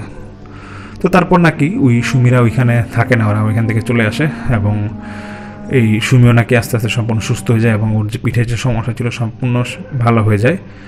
তো এই ঘটনাটাই আমাকে বলে। মানে মোট কথা হচ্ছে সেই তোষকের মধ্যেই তাবিজটা মানে ব্ল্যাক ম্যাজিক বা তাবিজ না যেটা করা হোক, ওই যে ওই ছেলে পক্ষের মা যে ছিল, ছেলের যে মা ছিল, সেই মাই এ বুয়ার মাধ্যমে টাকা ঘুষ দিয়ে এই তাবিজটা মানে পুঁতে রাখছিল আর কি, তোষকের ভিতরে যেভাবে হোক। এর জন্যই সুমিত এই সমস্যাটা হইতো। এবং হুজুর এটাও বলে যে, দেখেন আপনাদের পুরো ঘটনাটা শুনছি যে বললেন বিড়াল মারা গেছে নাকি? এই যে বিড়ালটা মারা গেছে, এখানে একটা বদ জিনের নজর ছিল এবং সেটা বিড়ালটা বুঝতে পারছিল দেখে ওই বদ জিনটা বিড়ালটাকে হয়তো জানলাতে বা বারান্দাতে একটা ফালাই দিছিল, এই জন্য বিড়ালটা মারা গেছে।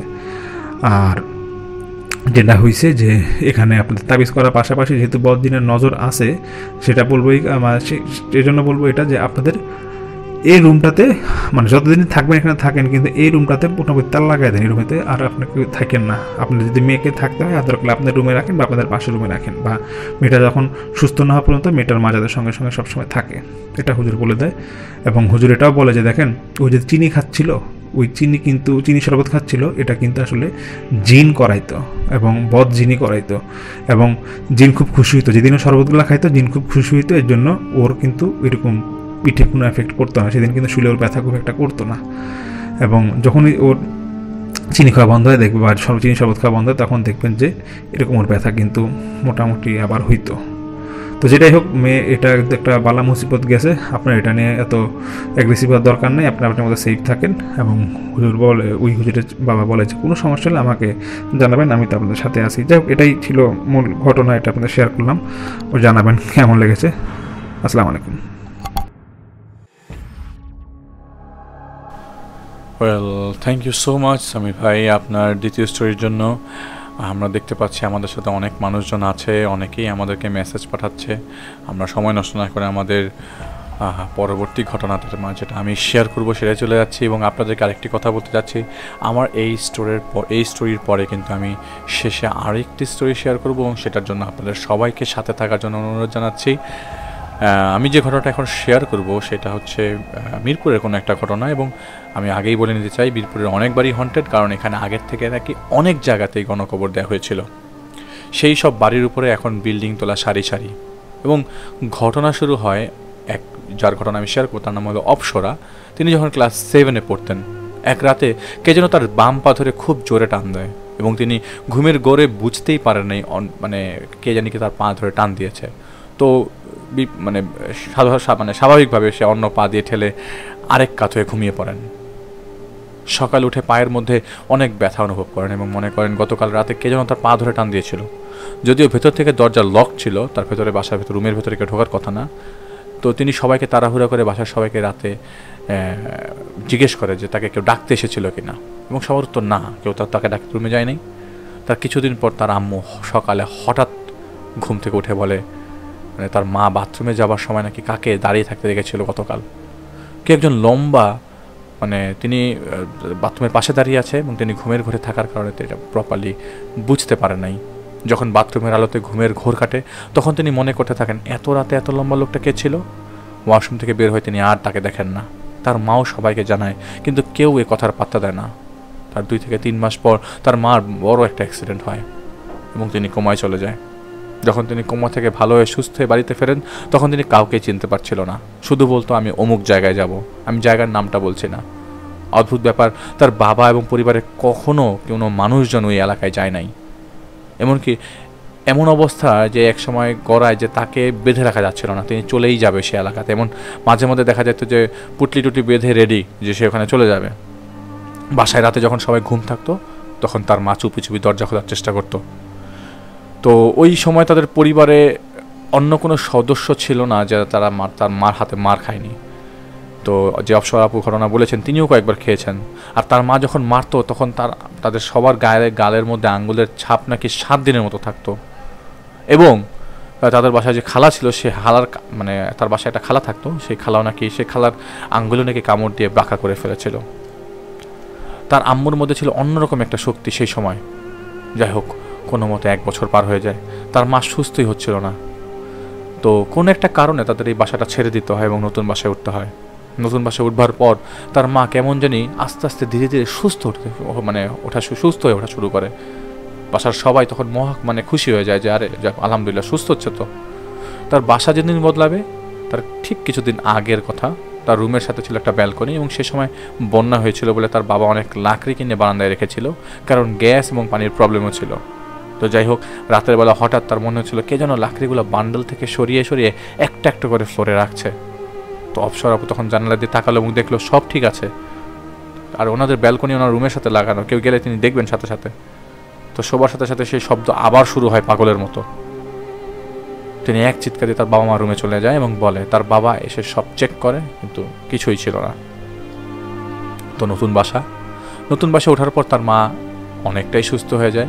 কিন্তু আগের কোনো কিছুই তার মান মনে নাই, সব ভুলে ভুলে গেছে এবং ডাক্তারও বলে যে অবস্থা এত খারাপ ছিল যদি সার্ভাইভ করবে, এটাই মিরাকল তো অপসরাপুর যে নতুন বাসাটা উঠেছিল, সেইটা অ্যাকচুয়ালি একদম অন্ধকার এবং দুটা বাড়ির মাঝখানে একটা বাড়ি আর কি, যেটাতে কোনো আলো বাতাস নেই। একটা বিল্ডিং হতো আর একটা বিল্ডিংয়ের দূরত্ব মাত্র এক হাতের মতো। এতই অন্ধকার ছিল যে দিনের বেলা তো সব লাইট জ্বালিয়ে রাখতে হতো। বাড়িওয়ালারা ছিল তিন ভাই এবং পাশাপাশি বাবার প্রত্যেক সম্পত্তিতে তারা পাশাপাশি তিনটা বাড়ি করে। এবং এই বাড়িতে উঠবার পর তিনি বাসায় সবসময় একা থাকতেন। দেখা যেত তার বাবা মা বাইরে থাকতো এবং মোস্ট অফ দ্য টাইম তিনি অসুস্থ থাকতো এবং জল লেগেই থাকতো। তার ছোট ভাইটা সারাদিন স্কুলে থাকতো এবং তার বাবা মা চাকরি করতো, মা শুরুতে চাকরি করতো এবং ভাইটা কোচিং নিয়ে থাকার কারণে তো বাসায় আসতে লেট করে। তো তিনি থাকতেন একাই। এইদিকে বাসাটা ছিল দিনের বেলা অন্ধকার। তো এক মাস পর কায় কেটে যায়, তখন রাত দশ থেকে সাড়ে দশটা হবে। তিনি খুব জ্বর মানে তার তার খুব জ্বর ছিল ওই দিন এবং তিনি ঘুম থেকে উঠে ওয়াশরুমে এবং ওয়াশরুমে তিনি ঢুকেছিলেন তখন তার পরিষ্কার মনে ছিল কিচেনের ফ্যানটা অফ, ওই দিন বাসায় কেউ ছিল না। কিন্তু তিনি যখন ওয়াশরুম থেকে বের হলেন দেখলেন কিচেনের ফ্যানটা খুব জোরে ঘুরছে এবং অস্বাভাবিকভাবে। তখন তার মনে হতে লাগল, তার আম্মু এসে গেছে, মনে হচ্ছে রান্না করছে। তিনি রুমে গিয়ে বলেন, আম্মু, একটা এক গ্লাস পানি দাও তো। কিন্তু কোনো খবর নাই। কিন্তু কিচেন থেকে পাতিল নাড়াচাড়া করার শব্দ আসছে, কেউ রান্না করছে। এবং মেইন গেট লাগানো কিন্তু ফ্যান চলছে। তো উনি বলছে বাসায় তো থাকার কথা। কাহিনী কি? তিনি বাসায় একা। তাহলে কিচেনে কে? তো তাদের বাসায় পাঁচতলায় তার বাবার একটা বন্ধু থাকতো এবং মাঝে মধ্যে তার বাবা ওইখানে যেত এই টাইমটায় তিনি এক চিৎকারে দরজা খুলে রেখে ওই পাঁচ পাঁচতলায় যায় সাহায্যের জন্য এবং হাঁপাতে হাঁপাতে দরজা নক করে। নক করে দেখে সেই ফ্ল্যাটে তার বাবা তার বন্ধুর সাথে কথা বলছে। তো তিনি জিজ্ঞেস করেন তুমি কখন আসছো? তখন তার বলো বেশ কিছুক্ষণ আগে এসছে। কী হয়েছে? তো ওই অপসরা বলে তুমি আমাকে একা রেখে যাও। আমার তো ভয় লাগছে, কিচেনে কিচেনে কে জানো আছে। এটা বলার সাথে সাথে তারা বা মানে তার বাবা দৌড় দিয়ে বাসায় যায় এবং দেখে কিচেনের ফ্যানটা চলছে এবং জোরে জোরে ঘুরছে। এবং সবাই খুব ভয় পেয়ে যায়, শখ খেয়ে যায়।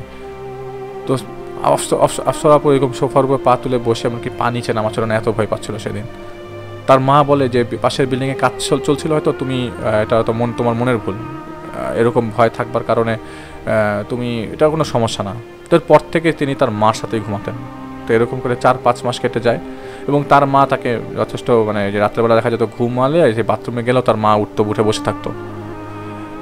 তো এর মধ্যে তার বাবা অফিসে ট্রেনিংয়ের জন্য রাজশাহী চলে যায়। এবং বাসায় তখন ছিল তিনি, তার মা এবং তার ছোট ভাই। এবং বড় কোনো ছেলে মানুষ ছিল না। তার ছোট ভাই তো ছোট, তো বড় কোনো ছেলে মানুষ ছিল না। তো একদিন তার আম্মুর মানে জন্য পানি নিয়ে রুমে ঢুকছিল। তখনই তার রুমের ফ্যানটা ছিল। বন্ধ, তো হঠাৎ করে একা একা চালু হয়ে যায়। ওই মুহূর্তে তার ভাই এবং আমু দুজনেই বেডে বসা। তো তার ভাই তখন ভয় পেয়ে যায় এবং রাতের বেলা অপসরাপুও ভয় পেতে থাকে। এবং সেদিন রাতের বেলা তার আম্মুর আম্মুর সাথে দুই ভাই বোন ঘুমায় এবং তারা একসাথেই ওই দিন রাতের বেলা প্রত্যক্ষ করে যে কম্পিউটার টেবিলের সামনে একটা চেয়ার ছিল, সেটা হঠাৎ করে হ্যাচকাকে যেন টান দিয়ে নিয়ে গেল। এবং শব্দে তার মা এবং তারা সবাই একসাথে দেখে যে চেয়ারটা চেয়ারের জায়গায় নেই অন্য জায়গায়। এটা কেউ সরায় নেই। তারা তিনজন কিন্তু ওই রুমে ওই বাড়ি তার বাসায় ফ্ল্যাটের কেউ নেই। সে তার, সেই রাতে তার মা সারা রাত ঘুমায়নি এবং সকালে তাদের সারাতো ভাইকে ডাক দেওয়া হয়। এবং যেহেতু অপসরাপুর বাবাও বাসায় নেই, ওই ভাই যেন তাদের বাসায় শুধুমাত্র রাতের বেলা থাকে, সেই রিকোয়েস্টে সেই খালাতো ভাইকে নিয়ে আসা হয় এবং খালাতো ভাই রাজি হয়। তো যেদিন থাকে, পরের দিন আসে এবং রাতের বেলা থাকে, তো পরের দিন সকালবেলা, ওই এক রাত থাকার পরে তো ভাই পরের দিন সকালবেলা তাকে জিজ্ঞেস করে কিন্তু তুই অত রাতে রুমে কী করছিলি রে? ডিম লাইটে বোঝা গেল তোরকে ভূতের মতো লাগল। তিনি বলেন কি বলো? আমি তো আম্মুর সাথে ঘুমাইছিলাম। এবং অপসরাপুর আম্মু একই কথা বলে যে হ্যাঁ ও তো আমার সাথে ঘুমিয়েছিল। তো তার ভাই বলে যে, আমি ক্লিয়ার দেখলাম তুই? কাহিনী কি? তখন অপসরাপুর আম্মু বলে যে, আরে, তুই কি বলিস? আমি তো ওয়াশ, ও তো ওয়াশরুমে গেলাম, উঠে বসে থাকি। তুই কি কি দেখছিস বুঝলাম না তো? তার খালাতো ভাই কিছুক্ষণ চুপ করে থাকার পর বলল, খালা, আমি আজকে চলে যাব। আমার কিছু কাজ আছে, রাতে থাকতে পারব না। তুমি, আমি ছোটো ভাইকে পাঠিয়ে দিব না। তো তার কথা মতো ঠিক দুই দিন পর তার খালা ছোটো খালাতো ভাই, ওই ওনারই ভাই আসে। এবং প্রথম দিন রাতের বেলা থাকার পর ঠিক একইভাবে সকালবেলা কথা কিরে কাল রাতে তুই ডিম লাইটের মধ্যে সোফায় বসেছিলি কেন? কি করতেছিলি এত রাতে? এত ডাকলাম, এত জিজ্ঞেস করলাম, কথাই বললি না। আমি তো ভাবলাম না কি না কি। পরে রুমে গিয়ে ঘুমাই গেলাম। তখন তিনি বললেন মানে অপসর আপু বলেন কই না তো, আমি তো আমার আম্মুর সাথে ঘুমাইছিলাম। একই অবস্থা, তিনি শোনার পর বাসায় এক মুহূর্তের জন্য থাকল না, কোনো রকম ফ্রেশে বের হয়ে গেল। তাকে হাজারবার জিজ্ঞেস করা সত্ত্বেও কিছু বলল না। এবং এভাবে বেশ কিছুদিন কিছুদিন কেটে যায় এবং তাদের বাসা খালিই থাকে। কোনো বড় আর সাহসী মানুষ নাই যে তাদেরকে ওখানে হেল্প করবে কিছু একটা। তো দিনে দিনে অপসর আপু আস্তে আস্তে অসুস্থ হতে থাকে আরও বেশি। তো ওই মুহূর্তে গ্রাম থেকে তাদের তার নানাকে, আপন নানাকে নিয়ে আসা হয়। তো তার নানা ছিল পাঁচ ওয়াক নামাজি মানুষ। তিনি আসার দুই দিনের মাথায় তাকে সকালে ঘুম থেকে উঠে বলে, এই, তুই একটু সাবধানে থাকবি তো? তো অপসর্প হাজার ভার জিজ্ঞেস করার সত্ত্বেও তার নানা তাকে কিছুই বলে না। এবং সেদিন দুপুর পর্যন্ত তার শরীর বেশ দুর্বল হতে থাকে এবং রাতের বেলা শরীর মারাত্মক কাঁপুনে দিয়ে ওঠে। এবং বারবার ঘুমের মধ্যে তিনি বিড়বিড়ি করে কি জানি বলছিল। এবং রাতে তার মা না মানে না ঘুমাতে পেরে সজাগই থাকে। তো সকালে উঠে তাকে ডক্টরের কাছে নিয়ে যাওয়া হয় এবং অনেকবার চেষ্টা করা মানে হলেও তাকে মানে তার শরীর এত দুর্বল ছিল যে তাকে চেষ্টা করেও নিতে পারেনি, হাঁটতেই পারছিল না। তো রাতের বেলা অপসর আপু অনেক চিৎকার চেঁচামেচি করে এবং জানালার পাশে তিনি জানালার পাশে তিনি ঘুমাতেন এবং সেই জানালা দিয়েই বের হয়ে যাওয়ার জন্য চিৎকার করতে থাকেন। মানে সবাইকে বলতে থাকে যে, আমি বের হয়ে যাব, আমাকে এই জানালা দিয়ে চলে যাব এবং এই অবস্থা প্রায় কয়েকদিনের। তার নানা আর তার আম্মু কেউই তার সাথে পারছিল না। হঠাৎ করে কোথা থেকে এত শক্তি চলে আসে? সকালে উঠে তার আম্মু যখন এসব তাকে বলে, তার এসব কিছুই মনে নাই। একই রাতে, ওই ওই করেসপন্ডিং রাতে, রাত গভীর হওয়ার পর তিনি জানালা ধরে নাকি অনেকক্ষণ বাইরে তাকিয়েছিল এটা তার মা ওই রাতে ঘুম ভাঙার পর দেখেছিল, যে তিনি বাইরে তাকিয়ে আছে অনেকক্ষণ ধরে। তো তার মা তাকে জিজ্ঞেস করে কিরে মা, তোর শরীর, তোর কী হয়েছে? শরীর কি বেশি খারাপ লাগছে? তো তিনি কোনো জবাব দেন না। হঠাৎ তিনি নাকি কাঁদতে কাঁদতে জবাব দেন, আম্মু, জানালার বাইরে আমার মতো একটা মেয়ে আছে। ও আমাকে যেতে বলে ওর সাথে। এটা শুনে তার মা খুব ভয় পেয়ে যায় এবং সকালে উঠে তার সেই খালাতো ভাইদের বলে, তোরা একটু বাসায় মেয়েটাকে যেভাবে হোক, বাসায় আয়, মেয়েটাকে যেভাবে হোক ডাক্তারের কাছে নিতে হবে। এবং তার খালাতো ভাইরা কেউই বাসায় ঢুকতে রাজি হয় না। তারা বলে, আমরা নিচে থাকব খালা, তুমি নিচে নিয়ে আসো। তো অবসর এতই দুর্বল ছিল যে তার পক্ষে খাট থেকে নামাই সম্ভব হচ্ছিল না। তো খালাতো ভাইরা বলে, খালা, আপনি আগে বাসা চেঞ্জ করেন, তারপর আপনাকে আমরা সব বলব। এই অবস্থায় অল্প সময় বাসাও বদলানো যাচ্ছে না এবং তার আব্বুও নাই। তো হঠাৎ করে তিন দিন পরে তার খালাতো ভাই ফোন দেয়। ওই খালাতো ভাইদের মধ্যে একজন বলে যে, খালা, আপনাদের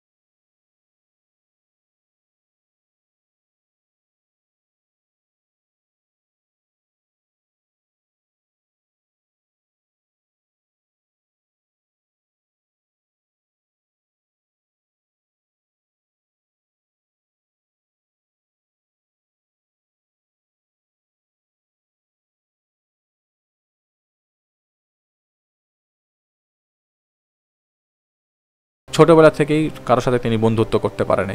কোনো বন্ধু বান্ধবী নেই বললেই চলে। এমনকি অপসরাপু রুমে থাকতেই পছন্দ করতো এবং বাসায় গেস্ট আসলে কারোর সাথে কথা বলতো না। এমনকি বাবা মার সাথেও কোথাও যেতে চাইতো না।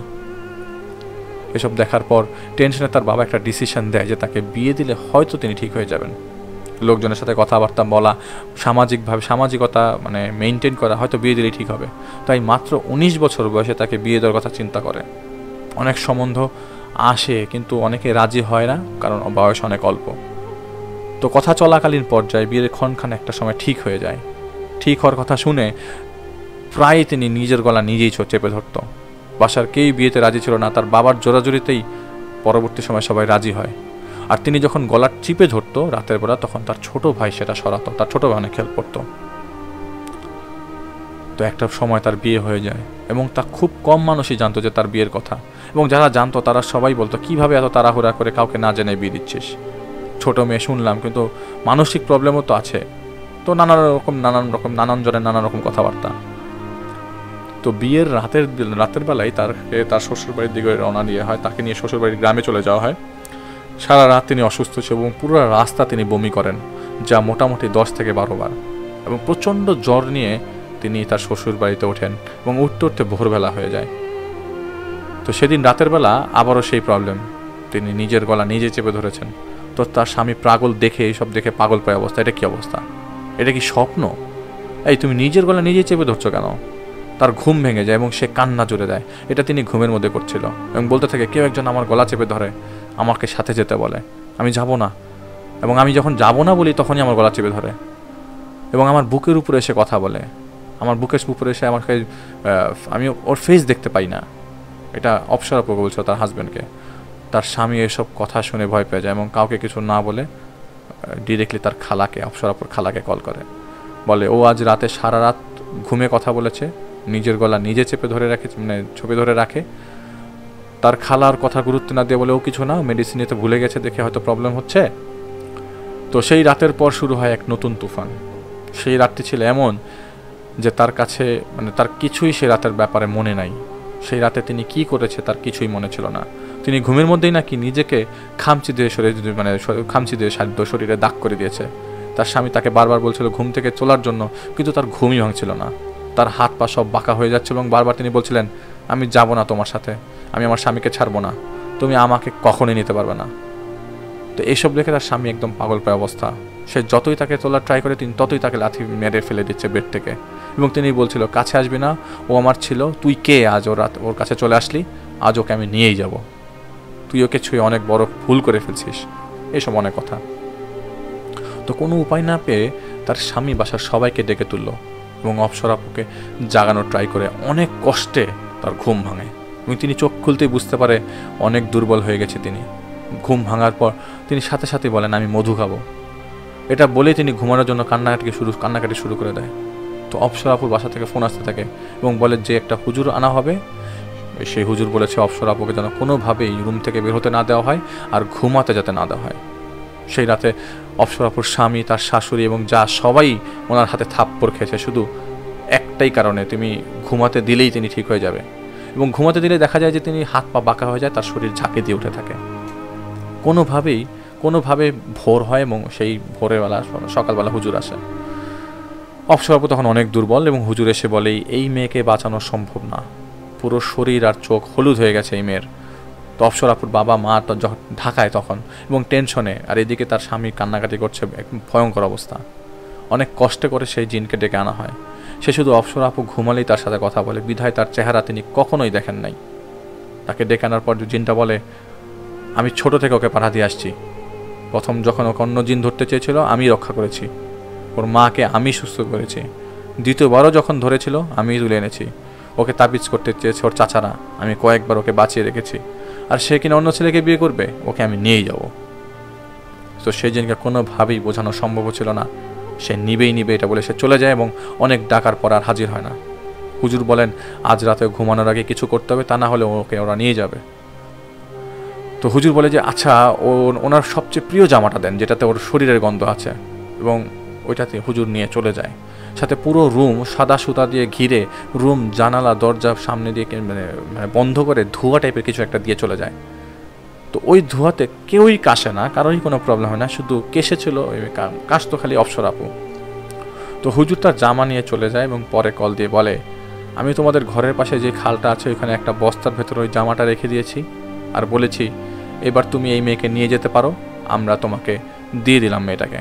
তিনি বলেন, আমি আজ আসব না, আমি যদি আসি তাহলে সে আমার পেছনে পেছনে আসবে ঢোকার জন্য।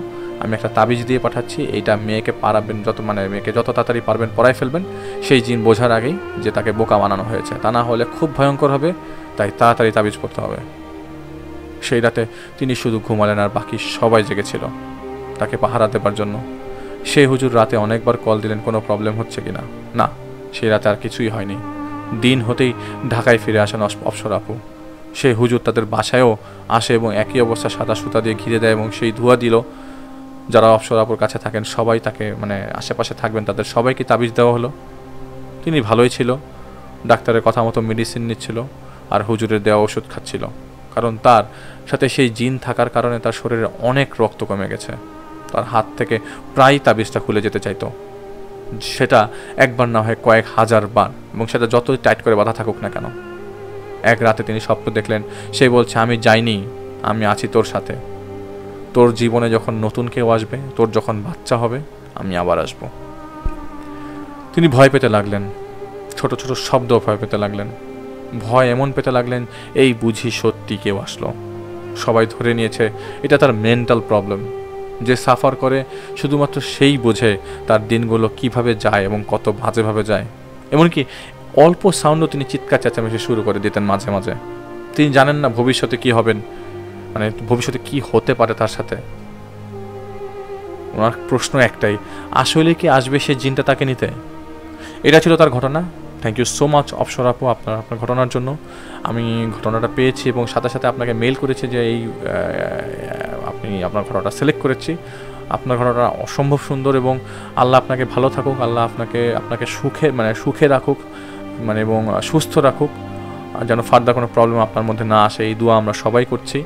আপনি ভালো থাকবেন এবং আমরা চলে যাচ্ছি আমাদের পরবর্তী অতিথির কাছে, যিনি আপনাদেরকে তার নেক্সট স্টোরিটা শোনাবেন।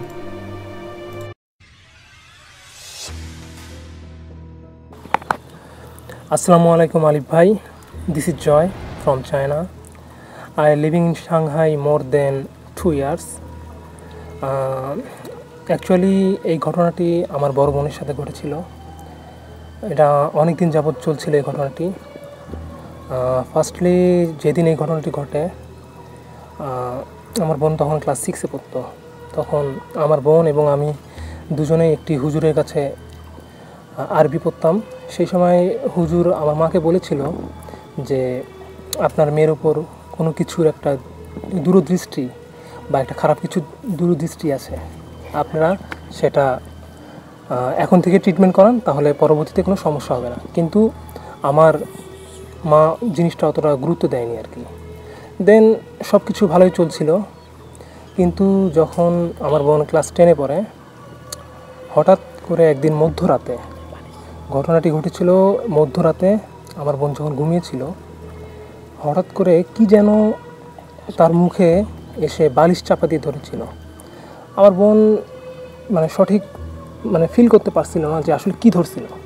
কিন্তু কোনো রকমে কষ্ট করে বালিশটা সরিয়ে আমার বোন যেটা দেখল, একটা কালো অবয়ক, অনেক লম্বা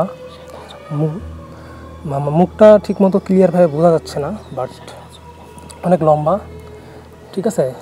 তার শুধু দাঁত দুটো খালি বোঝা যাচ্ছিল। সে হেসেছিল যে এটা ক্লিয়ারভাবে বোঝা যাচ্ছিল। সেই সময় আমার বোন অনেক ভয় পায়। ভয় পেয়ে চিৎকার করে। তার চিৎকারের আওয়াজ শুনে আমরা সবাই বিভিন্ন ঘর থেকে ছুটে আসি। তারপর মোটামুটি সেদিনের মতো ঘটনাটি ওই পর্যন্ত থাকে। সেদিন আমরা অতটা গুরুত্ব দিইনি ঘটনাটি। দেন আমার বোনের একটা সমস্যা ছিল যে, সে সবসময় তার শরীরের তাপমাত্রা একটু বেশি থাকতো। ডাক্তারের কাছে আমরা নিয়ে যেতাম। কিন্তু ডাক্তার বলতো যে কোনো সমস্যা হয়নি জাস্ট জ্বর এসেছে। কিন্তু আসলে কিন্তু তা ছিল না। এরকমভাবে বিচ্ছিন্নভাবে বিভিন্ন রকম, বিভিন্ন সময় ঘটনা ঘটেছিল। একদিন আমার বোন যখন কলেজে উঠে আর কি, যখন সে কলেজে লেখাপড়া করতে যায়, তখন সে দেখেছিল যে নারকেল গাছের মধ্যে বড় অজগর সাপের মতো মোটা একটি সাপ ফেনা তুলে তার দিকে তাকিয়ে আছে। এবং যখন আমার আপু ওই জিনিসটা দেখতো, আমার আপুর তখন আর কথা কথাবার্তা বলার বা চিল্লানোর মতো, চিৎকার করার মতো সেরকম অ্যাবিলিটি থাকে না। তখন আমার আপু যখন ওই সাপটা দেখেছিল, তখন সে ওটা দেখে অজ্ঞান হয়ে পড়ে সেন্সলেস হয়ে যায়। দেন এভাবে বিক্ষিপ্তভাবে, বিচ্ছিন্নভাবে বিভিন্ন ঘটনা ঘটতে থাকে। ফাইনালি একজন বড় হুজুরকে ডাকা হলো সেই হুজুর দেখল তাকে। তো হুজুর বলল যে, আমার আপুর উপর একটা জিনের মানে জিন দৃষ্টি করেছে আমার উপর এবং এই জিনটা অনেক দিন যাবৎ আমার আপুর সাথে আসছে। আর এই জিনটা, আপ- আপনি জানেন যে আমাদের মানুষের মধ্যে যেরকম ভালো মন্দ সবাই আছে, ঠিক তেমনি জিনের মধ্যে সৎ, অসৎ বিভিন্ন ক্যাটাগরির জিন আছে। তো ওই হুজুরটা বলেছিল, এই জিনটা অনেক বড় এক, একজন মৌলানা টাইপের জিন এবং সে অনেক কিছু জানে। সো এখন তাকে একটি তাবিজ দেয় এবং আমাদের বাসাটা বন্ধ করে দেয়। ক্ষণিকের জন্য সেটা নির্মূল হলেও পরবর্তীতে সেটা আবার অ্যাটাক করে। পরের যে ঘটনাটি আমি আপনার সাথে শেয়ার করব, সেটা হচ্ছে একদিন আমার আপু ঘুমিয়ে আছে রাত দুইটা কি আড়াইটের দিকে বাইরে ঘোড়ার খুরের আওয়াজ শুনতে পায়। এখন এটা স্বাভাবিক যে ঘোর এত রাতে ঘোড়া কোথা থেকে আসবে এখানে? এটা গেল। তারপর আরও বিভিন্ন সময় বিভিন্ন সাপের রূপ ধরে তারপর আমার আপুকে বিভিন্নভাবে ডাকতো এবং স্বপ্নের ঘরে বিভিন্নভাবে তাকে বিভিন্ন রকম সুস্বাদু খাবার খাওয়াতো। সো অ্যাকচুয়ালি আমরা সবাই জানি যে মানুষ কিন্তু ব্ল্যাক ম্যাজিক করে, কালো জাদু করে। ঠিক তেমনি জিন জাতি যারা আছে, তারাও কিন্তু কালো জাদু করে। ঠিক আছে? তে ওই জিনটা যেটা বলেছিল মানে আমার হুজুর যেটা বলেছিল, ওই জিন আমার আপুকে বিভিন্ন ধরনের খাবার খাইয়ে তাকে ব্ল্যাক ম্যাজিক করতো। তাকে বশ করার চেষ্টা করতো।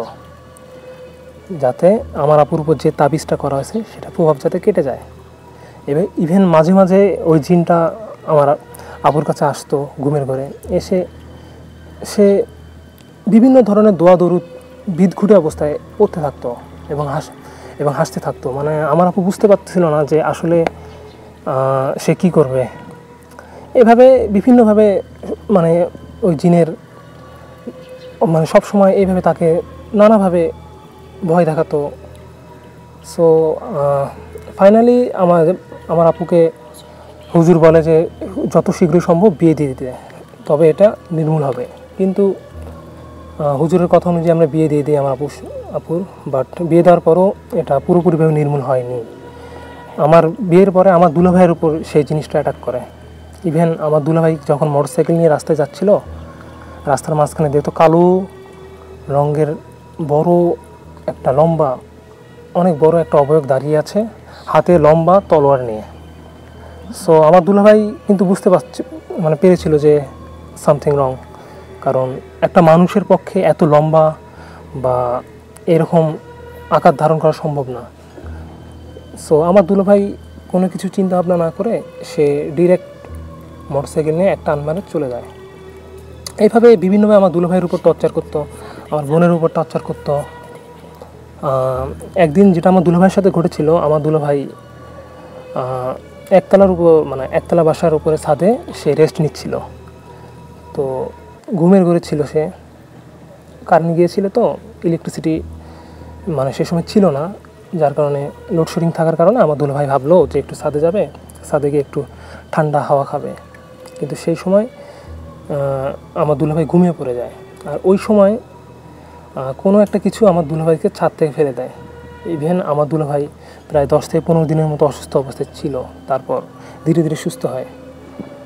এভাবে অনেক ঘটনা ঘটতে থাকে। ইভেন আমার বোনের বিয়ের প্রায় চার বছর পর্যন্ত আমার বোনের কোনো প্রকার বেবি নিতে পারছিল না। কারণ এই জিনটার কারণে আমার বোনের আরও অনেক সমস্যা হতে থাকে।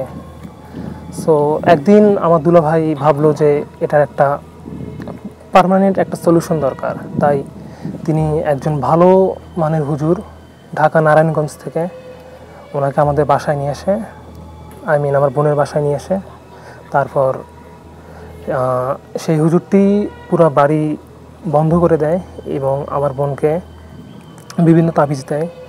তারপর চল্লিশটা দোয়া, জাফরান কালি দিয়ে গুলিয়ে আমার বোনকে খাইয়ে দেয় যেন এটা যাতে ডিস্টার্ব না করে। আর আমার বোনকে বলে যে, কখনো যদি কোনো কিছু যদি ওই জিনিসটা আমার বোনকে খাওয়াতে চায়, আমার বোন যেন না খায়।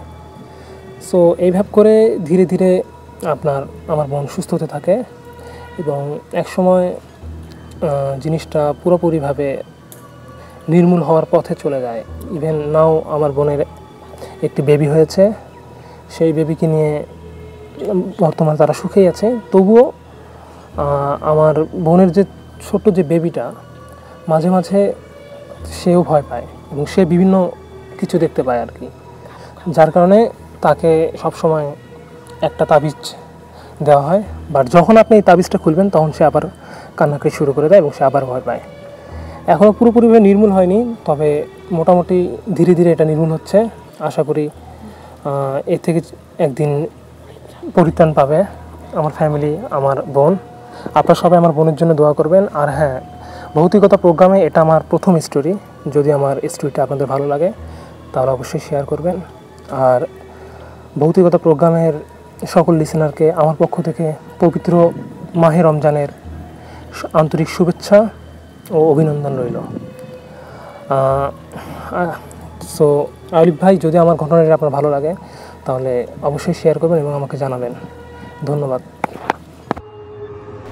Well thank you so much আপনার স্টোরির জন্য আমরা আপনার স্টোরিটা শুনেছি এবং আশা করছি আপনার বোনকে আল্লাহ তালা সুস্থ রাখবেন, সামনে, সামনের দিকে যেন কোনো বিপদ না আসে, সেজন্য আমরা সবাই দোয়া করব। আমরা চলে যাচ্ছি আমাদের সামির ভাইয়ের শেষ ঘটনায়। এরপর আমি একটি আরেকটা স্টোরি শেয়ার করব ইনশাল্লাহ সামির ভাইয়ের কাছে চলে যাচ্ছি আমরা। আসসালামু আলাইকুম লিসেনার সামির বলছিলাম। ভৌতিকতায় আজকে এটা আমার শেষ ঘটনা। তো এই ঘটনাটা ঘটেছিল মালয়েশিয়া কোনো একটা বাসায়, আমার খুব ক্লোজ একটা ফ্রেন্ডের সাথে। সেই ফ্রেন্ডের নাম হচ্ছে আলী। তো আলী ও এগারো সালেই আমার সাথে বিয়ে শেষ করার পর মালয়েশিয়া চলে যায়, যে সে সেখানে এম বি এ কমপ্লিট করবে। তাহলে আমাকে বলে যে সে যখন ওই বারো সালের দিকে এরকম মালয়েশিয়া যায়, প্রথম কয়েক মাস ওর এক ফ্রেন্ডের সাথে পেন গেস্ট হিসেবে থাকতে হয়। তারপর ওরা ছজন ফ্রেন্ড মিলে ঠিক করে যে একটা বাসা ভাড়া করে থাকবে। তো কোনো একটা উইকেন্ডে আলির ফ্রেন্ডরা বলতেছে, যে আলি, তুমি যেহেতু ফ্রি আসো এক কাজ করো, তুমি কয়েকটা বাসার অ্যাড্রেস দিয়ে বলে যে বাসাগুলো টুলেট আছে, তুমি গিয়ে দেখো যে বাসাগুলো পছন্দ হয় নাকি। তো দেখে আসো, আমাদেরকে জানায় ও কি তাহলে এরকম বাসা দেখতে থাকে এবং দুই তিনটা বাসা দেখে, একটা পছন্দ হয় না। তো ঠিক শেষে যে বাসাটা সে দেখতে চায় সে বাসাটা সে, বাইরে থেকে তার খুব পছন্দ হয় এবং সে বাসাটায় ঢোকার পরে দেখতেছে এটা তিনতলা একটা বাসা এবং দোতলায় বাড়িওয়ালা বা ল্যান্ডোটার থাকে আর তিনতলায় মানে ফ্ল্যাটটা খালি। তাহলে ঢোকার সময় একটু খটকা লাগে যে ঢোকার ঠিক বাসাটা ঠিক উত্তর পাশে একটা সে চার্চ এবং খ্রিস্টান কবরস্থান দেখে। ঠিক বিল্ডিংয়ের সাথে ঘেঁষাই।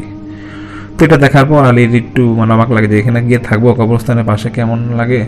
তো আলী বলে যে ও নাকি বাসাটা ঢোকার পর এত ভালো লাগে মানে ওর মানে ও দেখতেছে বাসাটা ভাড়াটা খুব কম এবং ল্যান্ড ওনার সে তিনতলায় দেখায় যে দেখেন আপনি এই ফ্ল্যাটটা এই অবস্থায় এটা চারটা রুম আছে, আপনার থাকতে পারেন আপনার ছয়জন মিলে, কোনো সমস্যা হবে না।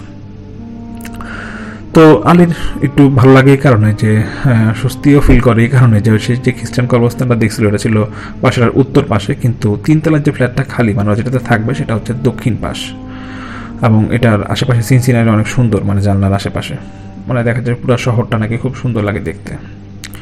তো এটা দেখার পর আলীর বেশ পছন্দ হয় এবং সে তার জন্য মানে রুমের যারা থাকবে ওদেরকে বলে যে, চলো একটা বাসা তো পছন্দ হয়েছে, তা আমাদের যেহেতু বাসার দরকার, আপাতত বাসা নিতে পারি।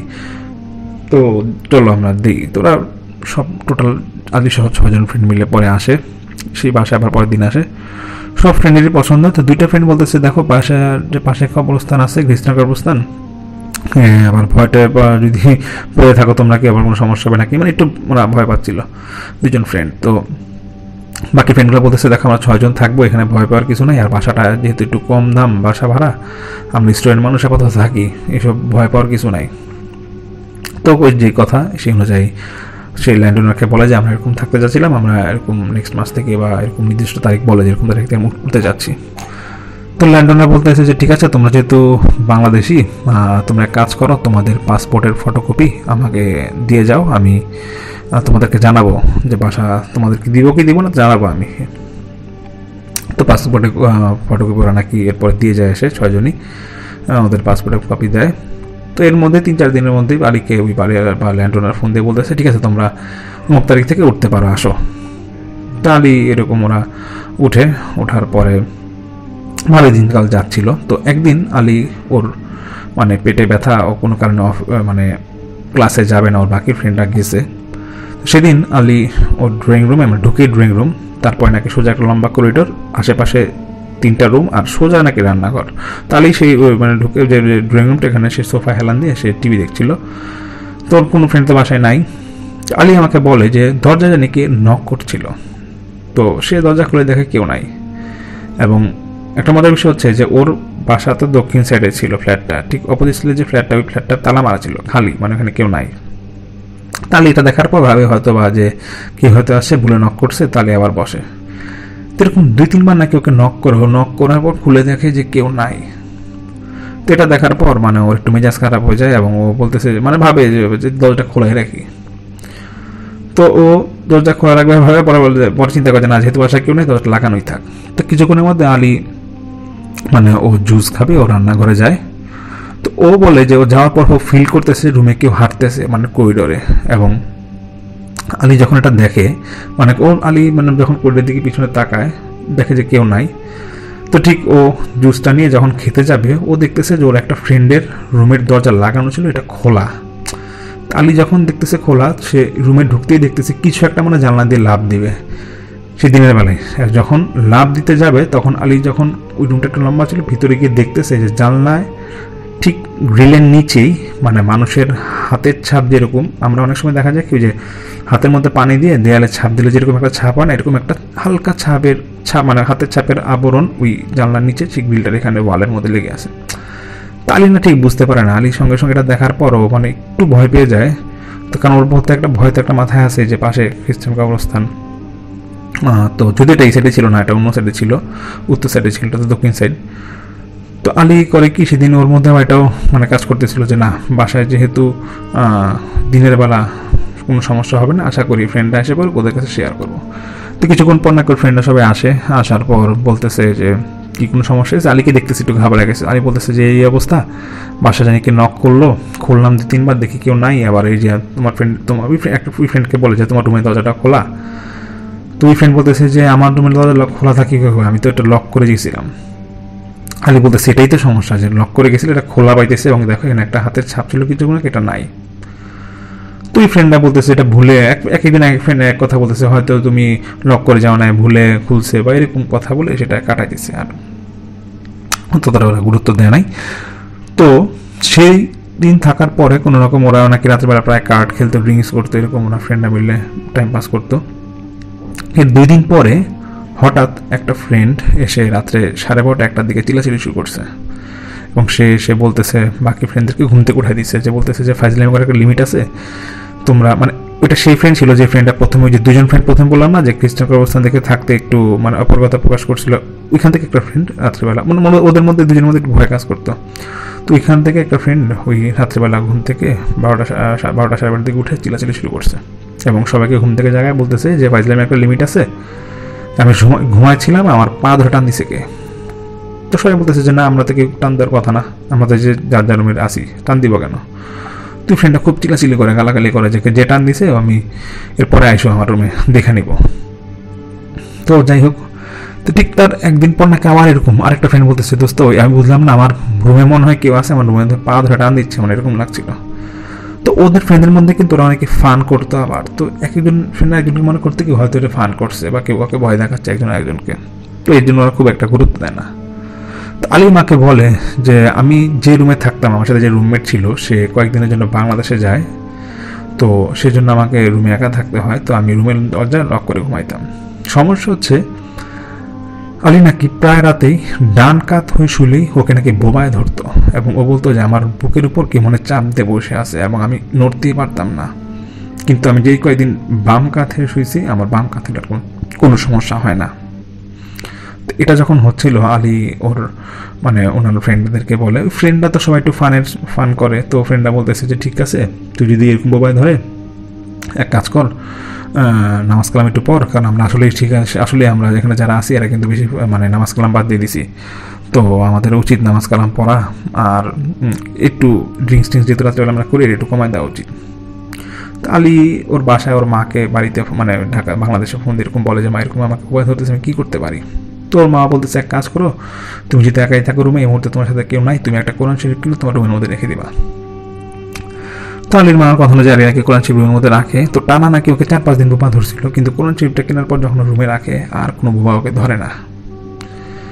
তো যাই হোক, একদিন রাত্রেবেলা আলী মানে ওর ওর কোনো, ওই এখান থেকে কোনো ফ্রেন্ড বলতেছে যে, আলী, তুমি যে মানে কোরআন শরীফ প্রিন্সিপ রাখছো তোমার রুমে, তা আমার রুমে একটু দিবা, আমি একটু পড়ব তাহলে একটু মস্করা করে বলতেছে যে হ্যাঁ এত ভদ্র গেলে কোরআন শরীফ পড়বা, নিজেরা নিজে কিনতে পারো না, আমারটা কেন পড়বে এই বলতে বলতে, বল, যাই হোক, কোরআন শরীফটা নিচে তো সেদিন রুমের দরজা লক করে আলী ওর গার্লফ্রেন্ডের সাথে বাংলাদেশে কথা বলবে ভিডিও চ্যাট করবে।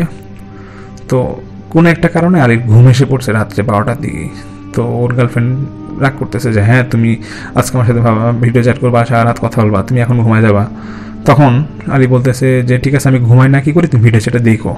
তো ওই গার্লফ্রেন্ড বলতেছে, ঠিক আছে, তোমার যে ল্যাপটপটা আছে ল্যাপটপে ভিডিওটা অন করে তুমি ঘুমায় যাও, আমি দেখব তুমি কতক্ষণ ঘুমাও। তো এটা আলী ওই দুষ্টাইম করে ওই ভিডিও চ্যাটটা ল্যাপটপের মধ্যে অন করে সে ঘুমায় যায়।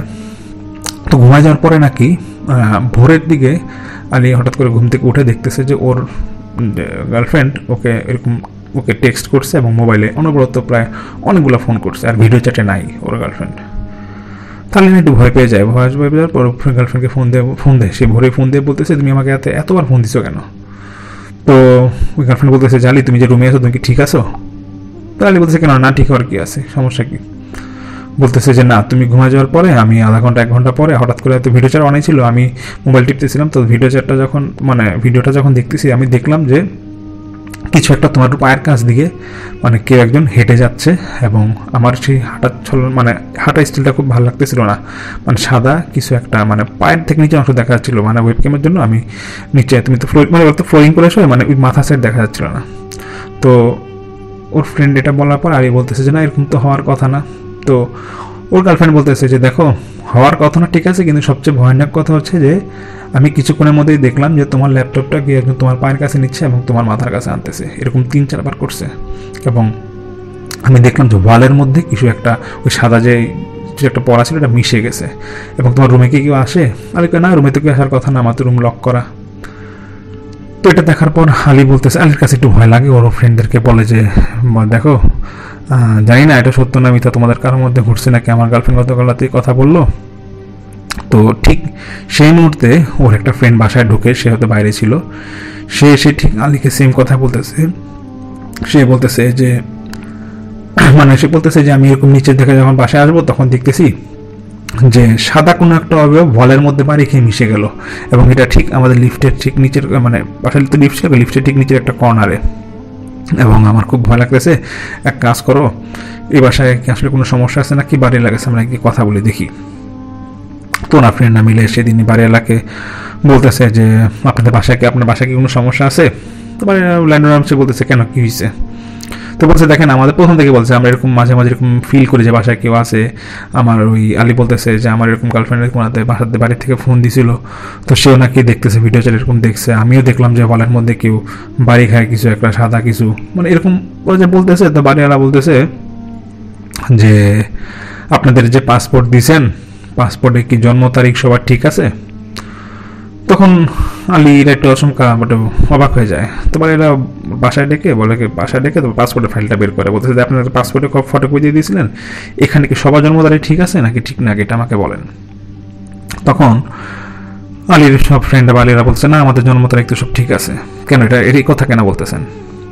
তো বলতেছে যে, আপনাদের সত্যি কথা বলেন যে, আপনাদের এখানে কেউ কি মানে তুলা রাশি। তুলা রাশিতে আমরা বাংলা তুলা রাশি বলি বাট ইংলিশে হচ্ছে লিব্রা তো বলতেছে তুলা রাশির এরকম কেউ আছেন নাকি? যদিও সে তার ভাষায় বলছে ইংলিশে। তা আলী বা তিনজন ফ্রেন্ড বলতেছে যে হ্যাঁ আমাদের তো তুলা রাশি, আমরা মানে আলীও তুলা রাশি এবং ওরা বাকি দুজন ফ্রেন্ড ছিল। ওরা বলছে হ্যাঁ আমরা তুলা রাশি। ওই যে দুইজন ফ্রেন্ড প্রথমেই ভয় পাইছিল বাসাটা নেওয়ার সময় যেটা অপরাধ প্রকাশ করছিল যে, না, এটা নেওয়া ঠিক হবে কিনা। ওই দুজন ফ্রেন্ডই ছিল তুলা রাশি এবং আলিও ছিল। তো বানিরা বলতেছে যে তুলা রাশি যদি আপনি হয়ে থাকেন, তাহলে পাসপোর্টের মধ্যে জন্ম তারিখ ভুল দেওয়া কেন? তুলা রাশির যারা মানে হয়ে থাকবে, তাদের হচ্ছে অক্টোবর মাসের ওদের মানে তেইশ তারিখ মানে অক্টোবর এখন সেপ্টেম্বরের তেইশ থেকে মনে অক্টোবরের তেইশ তারিখ এই সময় মনে হয় যারা জন্ম হয় এটা তুলা রাশি। তো বাড়িরা বলতেছে যেরকম আমি যদিও সেটা জানি না তুলা রাশিটা কোন সময় বাট ওই সময়টাই সম্ভবত তুলা রাশির মানুষরা জন্ম মানে ওই সময়টাই তুলা রাশির জাতক জাতিকা হয়ে থাকে আর কি। তখন যখন এই কথা বলতেছে, তো বাড়ি এলাকায় আলী বলতেছে আর দুই বাসাকে দুজন ফ্রেন্ড বলতেছে যে, দেখেন, আমরা তো আসলে এরকম অনেক সময় রেজিস্ট্রেশনের সময় জন্ম তারিখ একটু বাড়াই কমায় মানে কমায় নাকি মানে বাড়াই কম এটা হয় আমাদের দেশে। তো এই কারণে আমার বাবা মা মানে এরকম ডেটটা চেঞ্জ করে দিয়েছিল আসলে কিন্তু আমার অক্টোবর জন্ম, কিন্তু এখানে লেখা আছে হয়তো জুনে। কে বলে জুনে? আবার আলিটা নাকি দেওয়া ছিল এপ্রিলে। আর একটা ফ্রেন্ডের নাকি এরকম দেওয়া ছিল যে, ফেব্রুয়ারিতে। তো বাড়িরা বলতেছে যে, দেখেন, আমি জন্ম তারিখ বা পাসপোর্টটা নেওয়ার একটা উদ্দেশ্য ছিল যে, আপনাদের জন্ম তারিখ দেখা। এবং আমি মনে করছি যে আপনার পাসপোর্টে ঠিক, ঠিকই সঠিক জন্ম তারিখটা দেওয়া আছে। তো বাড়ি এলাকায় আলী বলে যে, কেন কী সমস্যা হয়েছে? তো বাড়িটা বলতেছে, দেখেন, আমার বাসার পাশেই যে এখানে যে খ্রিস্টান কবরস্থানটা আছে, এখানে কিছু একটা অংশ ভাঙা পড়ছিল আমার বাসাটা করার সময়। তো এই জন্য এখানে একটা খারাপ জিনের আসর আছে এবং এটা অনেকেই দেখে। তো আমি একবার এরকম যখন বাসাটা করি, তখন বাসাটা করতে আমার মানে ওইরকম জিনের খুব উৎপাত ছিল এই বাসায়। তো তখন আমি এরকম আমাদের ধর্মের নিয়ম অনুযায়ী মানে ওই লোক কোন ধর্মের ছিল ঠিক জানি না, তো আলী বলে যে সে নাকি তার ধর্মের নিয়ম অনুযায়ী কোন লোক এনে এই বাসাটা বন্ধ করাইছিল। তখন সেই যে বন্ধ করাইছিল, সে বলছিল যে বাসায় কারোর কোনো সমস্যা হবে না, তবে এখানে তুলা বা লিবার রাশি যারা আছে, এই রাশির যাতে কেউ এখানে এই বাসায় না থাকে, থাকলে কিন্তু ওরা বাসায় বিভিন্ন রকম সমস্যা ফেস করবে। আলী তো বলে যে, আমি দোস্ত, এটা শোনার পরে আমার মনে হয় গায়ের পশম খারা যায়। আমি তো মানে কি করব? আমরা কোনোরকম মানে ছয় বন্ধুই সেদিন একবারে এক রুমে ছিলাম বলা যায়। তো ঠিক এই পাঁচ ছয় দিনের মধ্যে আমরা বাড়ির এলাকায় উল্টে ড্যামারেজ দিয়ে বাসাটা ছেড়ে এসে পড়ি। তো এটাই ছিল আলীর ঘটনা, আমার ফ্রেন্ড সেটা আমাকে শেয়ার করে, আমি জানি না আপনাদের কেমন লেগেছে, আশা করি ভালো লাগবে। একটু ডিফারেন্ট লেগেছিল দেখে আপনাদেরকে শেয়ার করা বাট আমি ঘটনাটা আমার কাছে খুবই ভালো লেগেছিল দেখে আপনাদেরকে শোনানো। তো এই সপ্তাহের মতো এখানে আজকে নিচ্ছি, আশা করি আপনার ঘটনাগুলো ভালো লাগবে এবং ভালো না লেগে থাকলে অবশ্যই জানাবেন, কারণ আমরা চাচ্ছি যাতে ভৌতিকতার সামনে আরও ভালোভাবে আমরা এগিয়ে নিয়ে যেতে পারি। অনেক অনেক ধন্যবাদ, আসসালামু আলাইকুম।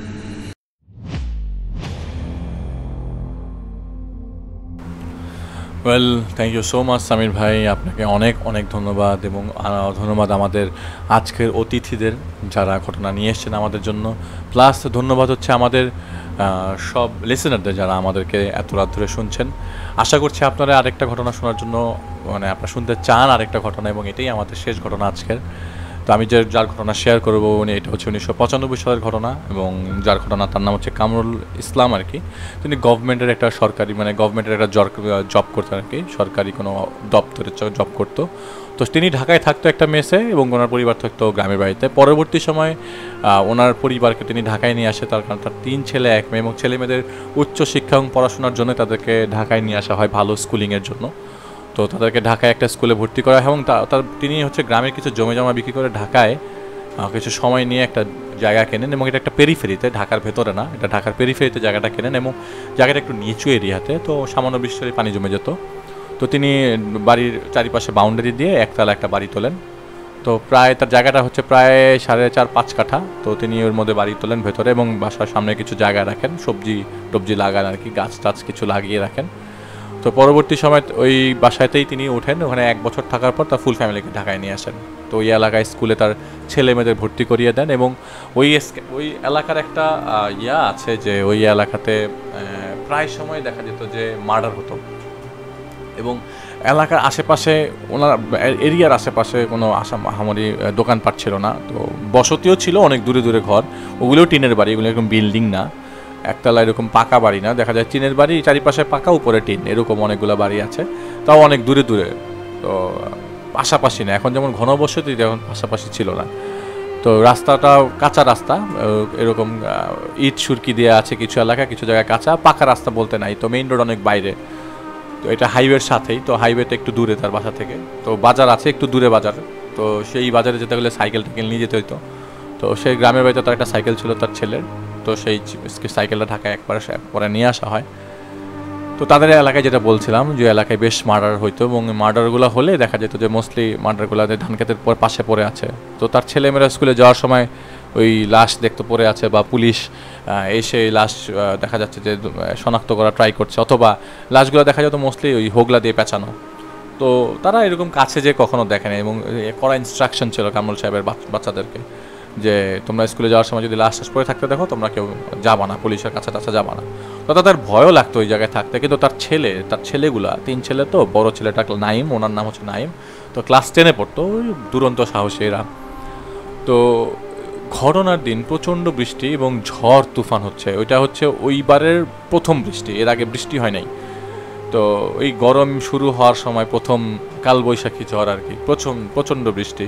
তো সেদিন রাতে অনেক বৃষ্টি হওয়াতে পানি জমে গেছে। তো তখনও বৃষ্টি হচ্ছে। তো রাত্রে একটার দিকে এত বৃষ্টি এত বৃষ্টি, তো ইলেকট্রিসিটি নাই। আর ইলেকট্রিসিটি ডিভিশনটা এত উন্নত ছিল না ওইখানে। তো তার বড় ছেলে কি করল? তার বড় ছেলের ওই ওটা কি বলে? শাবল নিল ঘরের ভেতর থেকে। শাবল নিয়ে ওই যেহেতু ভেতরে পানি জমে গেছে, তো তিনি কি করলেন? একটা গর্তের মতো করলেন গেটের পাশ দিয়ে যেটা পানিটা বের হয়ে যেতে পারে। হঠাৎ করে ধূপ করে একটা শব্দ হলো আর বাড়ির পেছনের দিকে। তাদের দেখ মানে কলা গাছটা নুয়ে পড়ার মতো মানে তিনি উকি মারলেন, উকি মেরে দেখেন কলা গাছটা নুয়ে পড়েছে। তো পেছনে গেলেন যে কাহিনী কি, কলা গাছটা এরকম নুয়ে পড়ল, ধূপ করে সাউন্ড হলো। আশেপাশে একশো ফিটের মধ্যে কোনো ঘরবাড়ি নাই এবং একশো ফিটের মধ্যে কোনো বড় গাছও নাই। তো তাদের জায়গাটা একটা ক্ষেতের থেকে কেনা, তো ওই জায়গা থেকে রোড গেছে, সাথেই রোড, একদম রোডের সাথেই।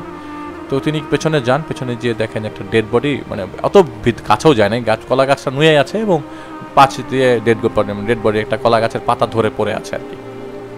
তিনি দৌড়ে ঘরের ভিতরে আসেন এবং হাঁপাতে হাঁপাতে তার বাবাকে বলে বাবা, আমি এরকম একটা জিনিস দেখলাম, চলো। তো বাসার মহিলারা এবং ছোট ছেলেদেরকে ভেতরে রেখে তিনি আর তার ছেলে বড় ছেলে বাইরে যায়। শাবলটা হাতে ছিল। বাইরে যেয়ে দেখে, কলা গাছটা ঠিকই নুয়ে আছে, কিন্তু ওখানে কোনো ডেড বডি নাই। তো চারি বা, পুরা বাটির চারি পাঁচটা তারা খোঁজে। খোঁজার পরে অনেক চেষ্টা করে ডেড বডিটা খোঁজার, কিন্তু খুঁজে না। রাতের বেলা তারা মোটামুটি কামরুল সাহেব এবং নাইম ভাই দুইজনই সজাগ ছিল। সজাগ থাকার পরে, পরের দিন সকালবেলা তারা থানায় যায়। ওই থানাও অনেক দূরে। থানাকে জানার পরে থানার পুলিশ ওই জায়গায় আসে ভেরিফিকেশনের জন্য। ইন্টারোগেট করে, কিন্তু থানার পুলিশদেরকে উনি কোনো নির্দিষ্ট ইনফরমেশন দিতে পারে না এবং থানার পুলিশ বলে, ঠিক আছে, কোনো খবর পেলে আমি জানাব। তো ডেড বডি যে ওইটা কনফার্ম করতে পারে না আর কি, যে আছেই। তো পরে আর পুলিশের কোনো হদিশ পাওয়া যায় নাই। তো দশ পনেরো দিন ভালোই ছিল। হঠাৎ করে তার বাসার ছাদের মধ্যে দিন রাত নয়টার দিকে সবাই পড়ছে। তো ওই ড্রয়িং রুমে তাদের ওইখানে ড্রয়িং রুম বলতে হচ্ছে ড্রয়িং রুমে খাট, টেবিল, সোফাও আছে। তো ওই ভাই পড়ছে আর কি ড্রয়িং রুমের মধ্যে। পড়াশোনা করতে করতে হঠাৎ করে তার রুমটার থেকে আবার গেট ডাইরেক্টলি জানালাতে দেখা যেত এবং জানালার পাশেই তার টেবিল। তো তিনি পড়ছে হঠাৎ করে ধুমধুম শব্দ ছাদের মধ্যে। তো তাদের বাসার বাড়ি দিয়ে একটা মই ছিল ছাদে ওঠার জন্য। তো তিনি কি করলেন? মইটা ধরে ছাদে উঠলেন।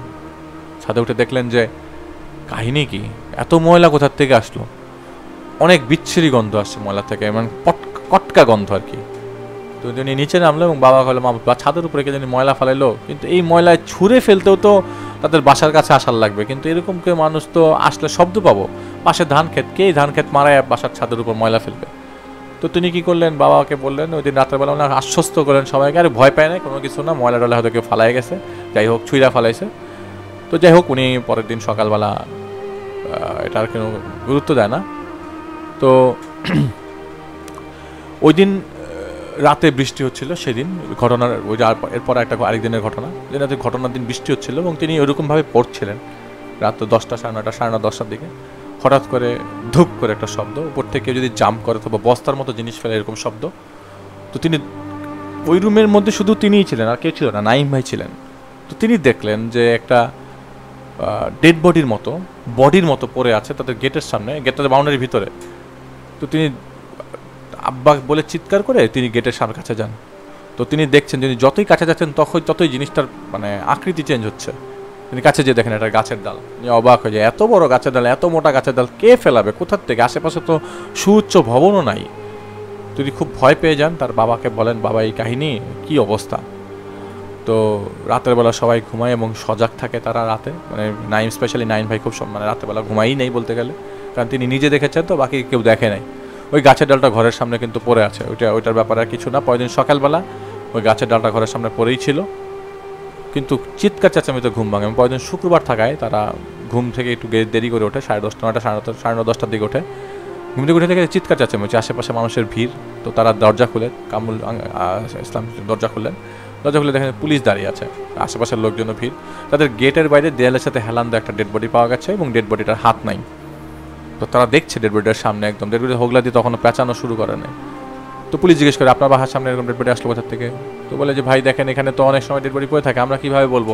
তো তারা আবার স্বীকার করে না নাইম ভাই, যে আগের দিন রাতের বেলা কি দেখছে বা কিছু একটা উনি কিছু বল মানে বলে না আর কি। নাইম ভাই চালাকি করে জিনিসটা বলে না।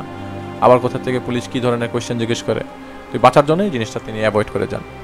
তো পরে ওই পুলিশ লাশ নিয়ে যায় এবং এই লাশের জন্য কোনো নাকি পরে খবর নিয়েছিল এবং জিডিও করা ছিল উনি বলেছে আমি দেখেন, আমি কয়েক- কয়েকদিন আগে জিডিও করেছিলাম, এই বাসায় এরকম একটা জিনিস, তো কাহিনী কি?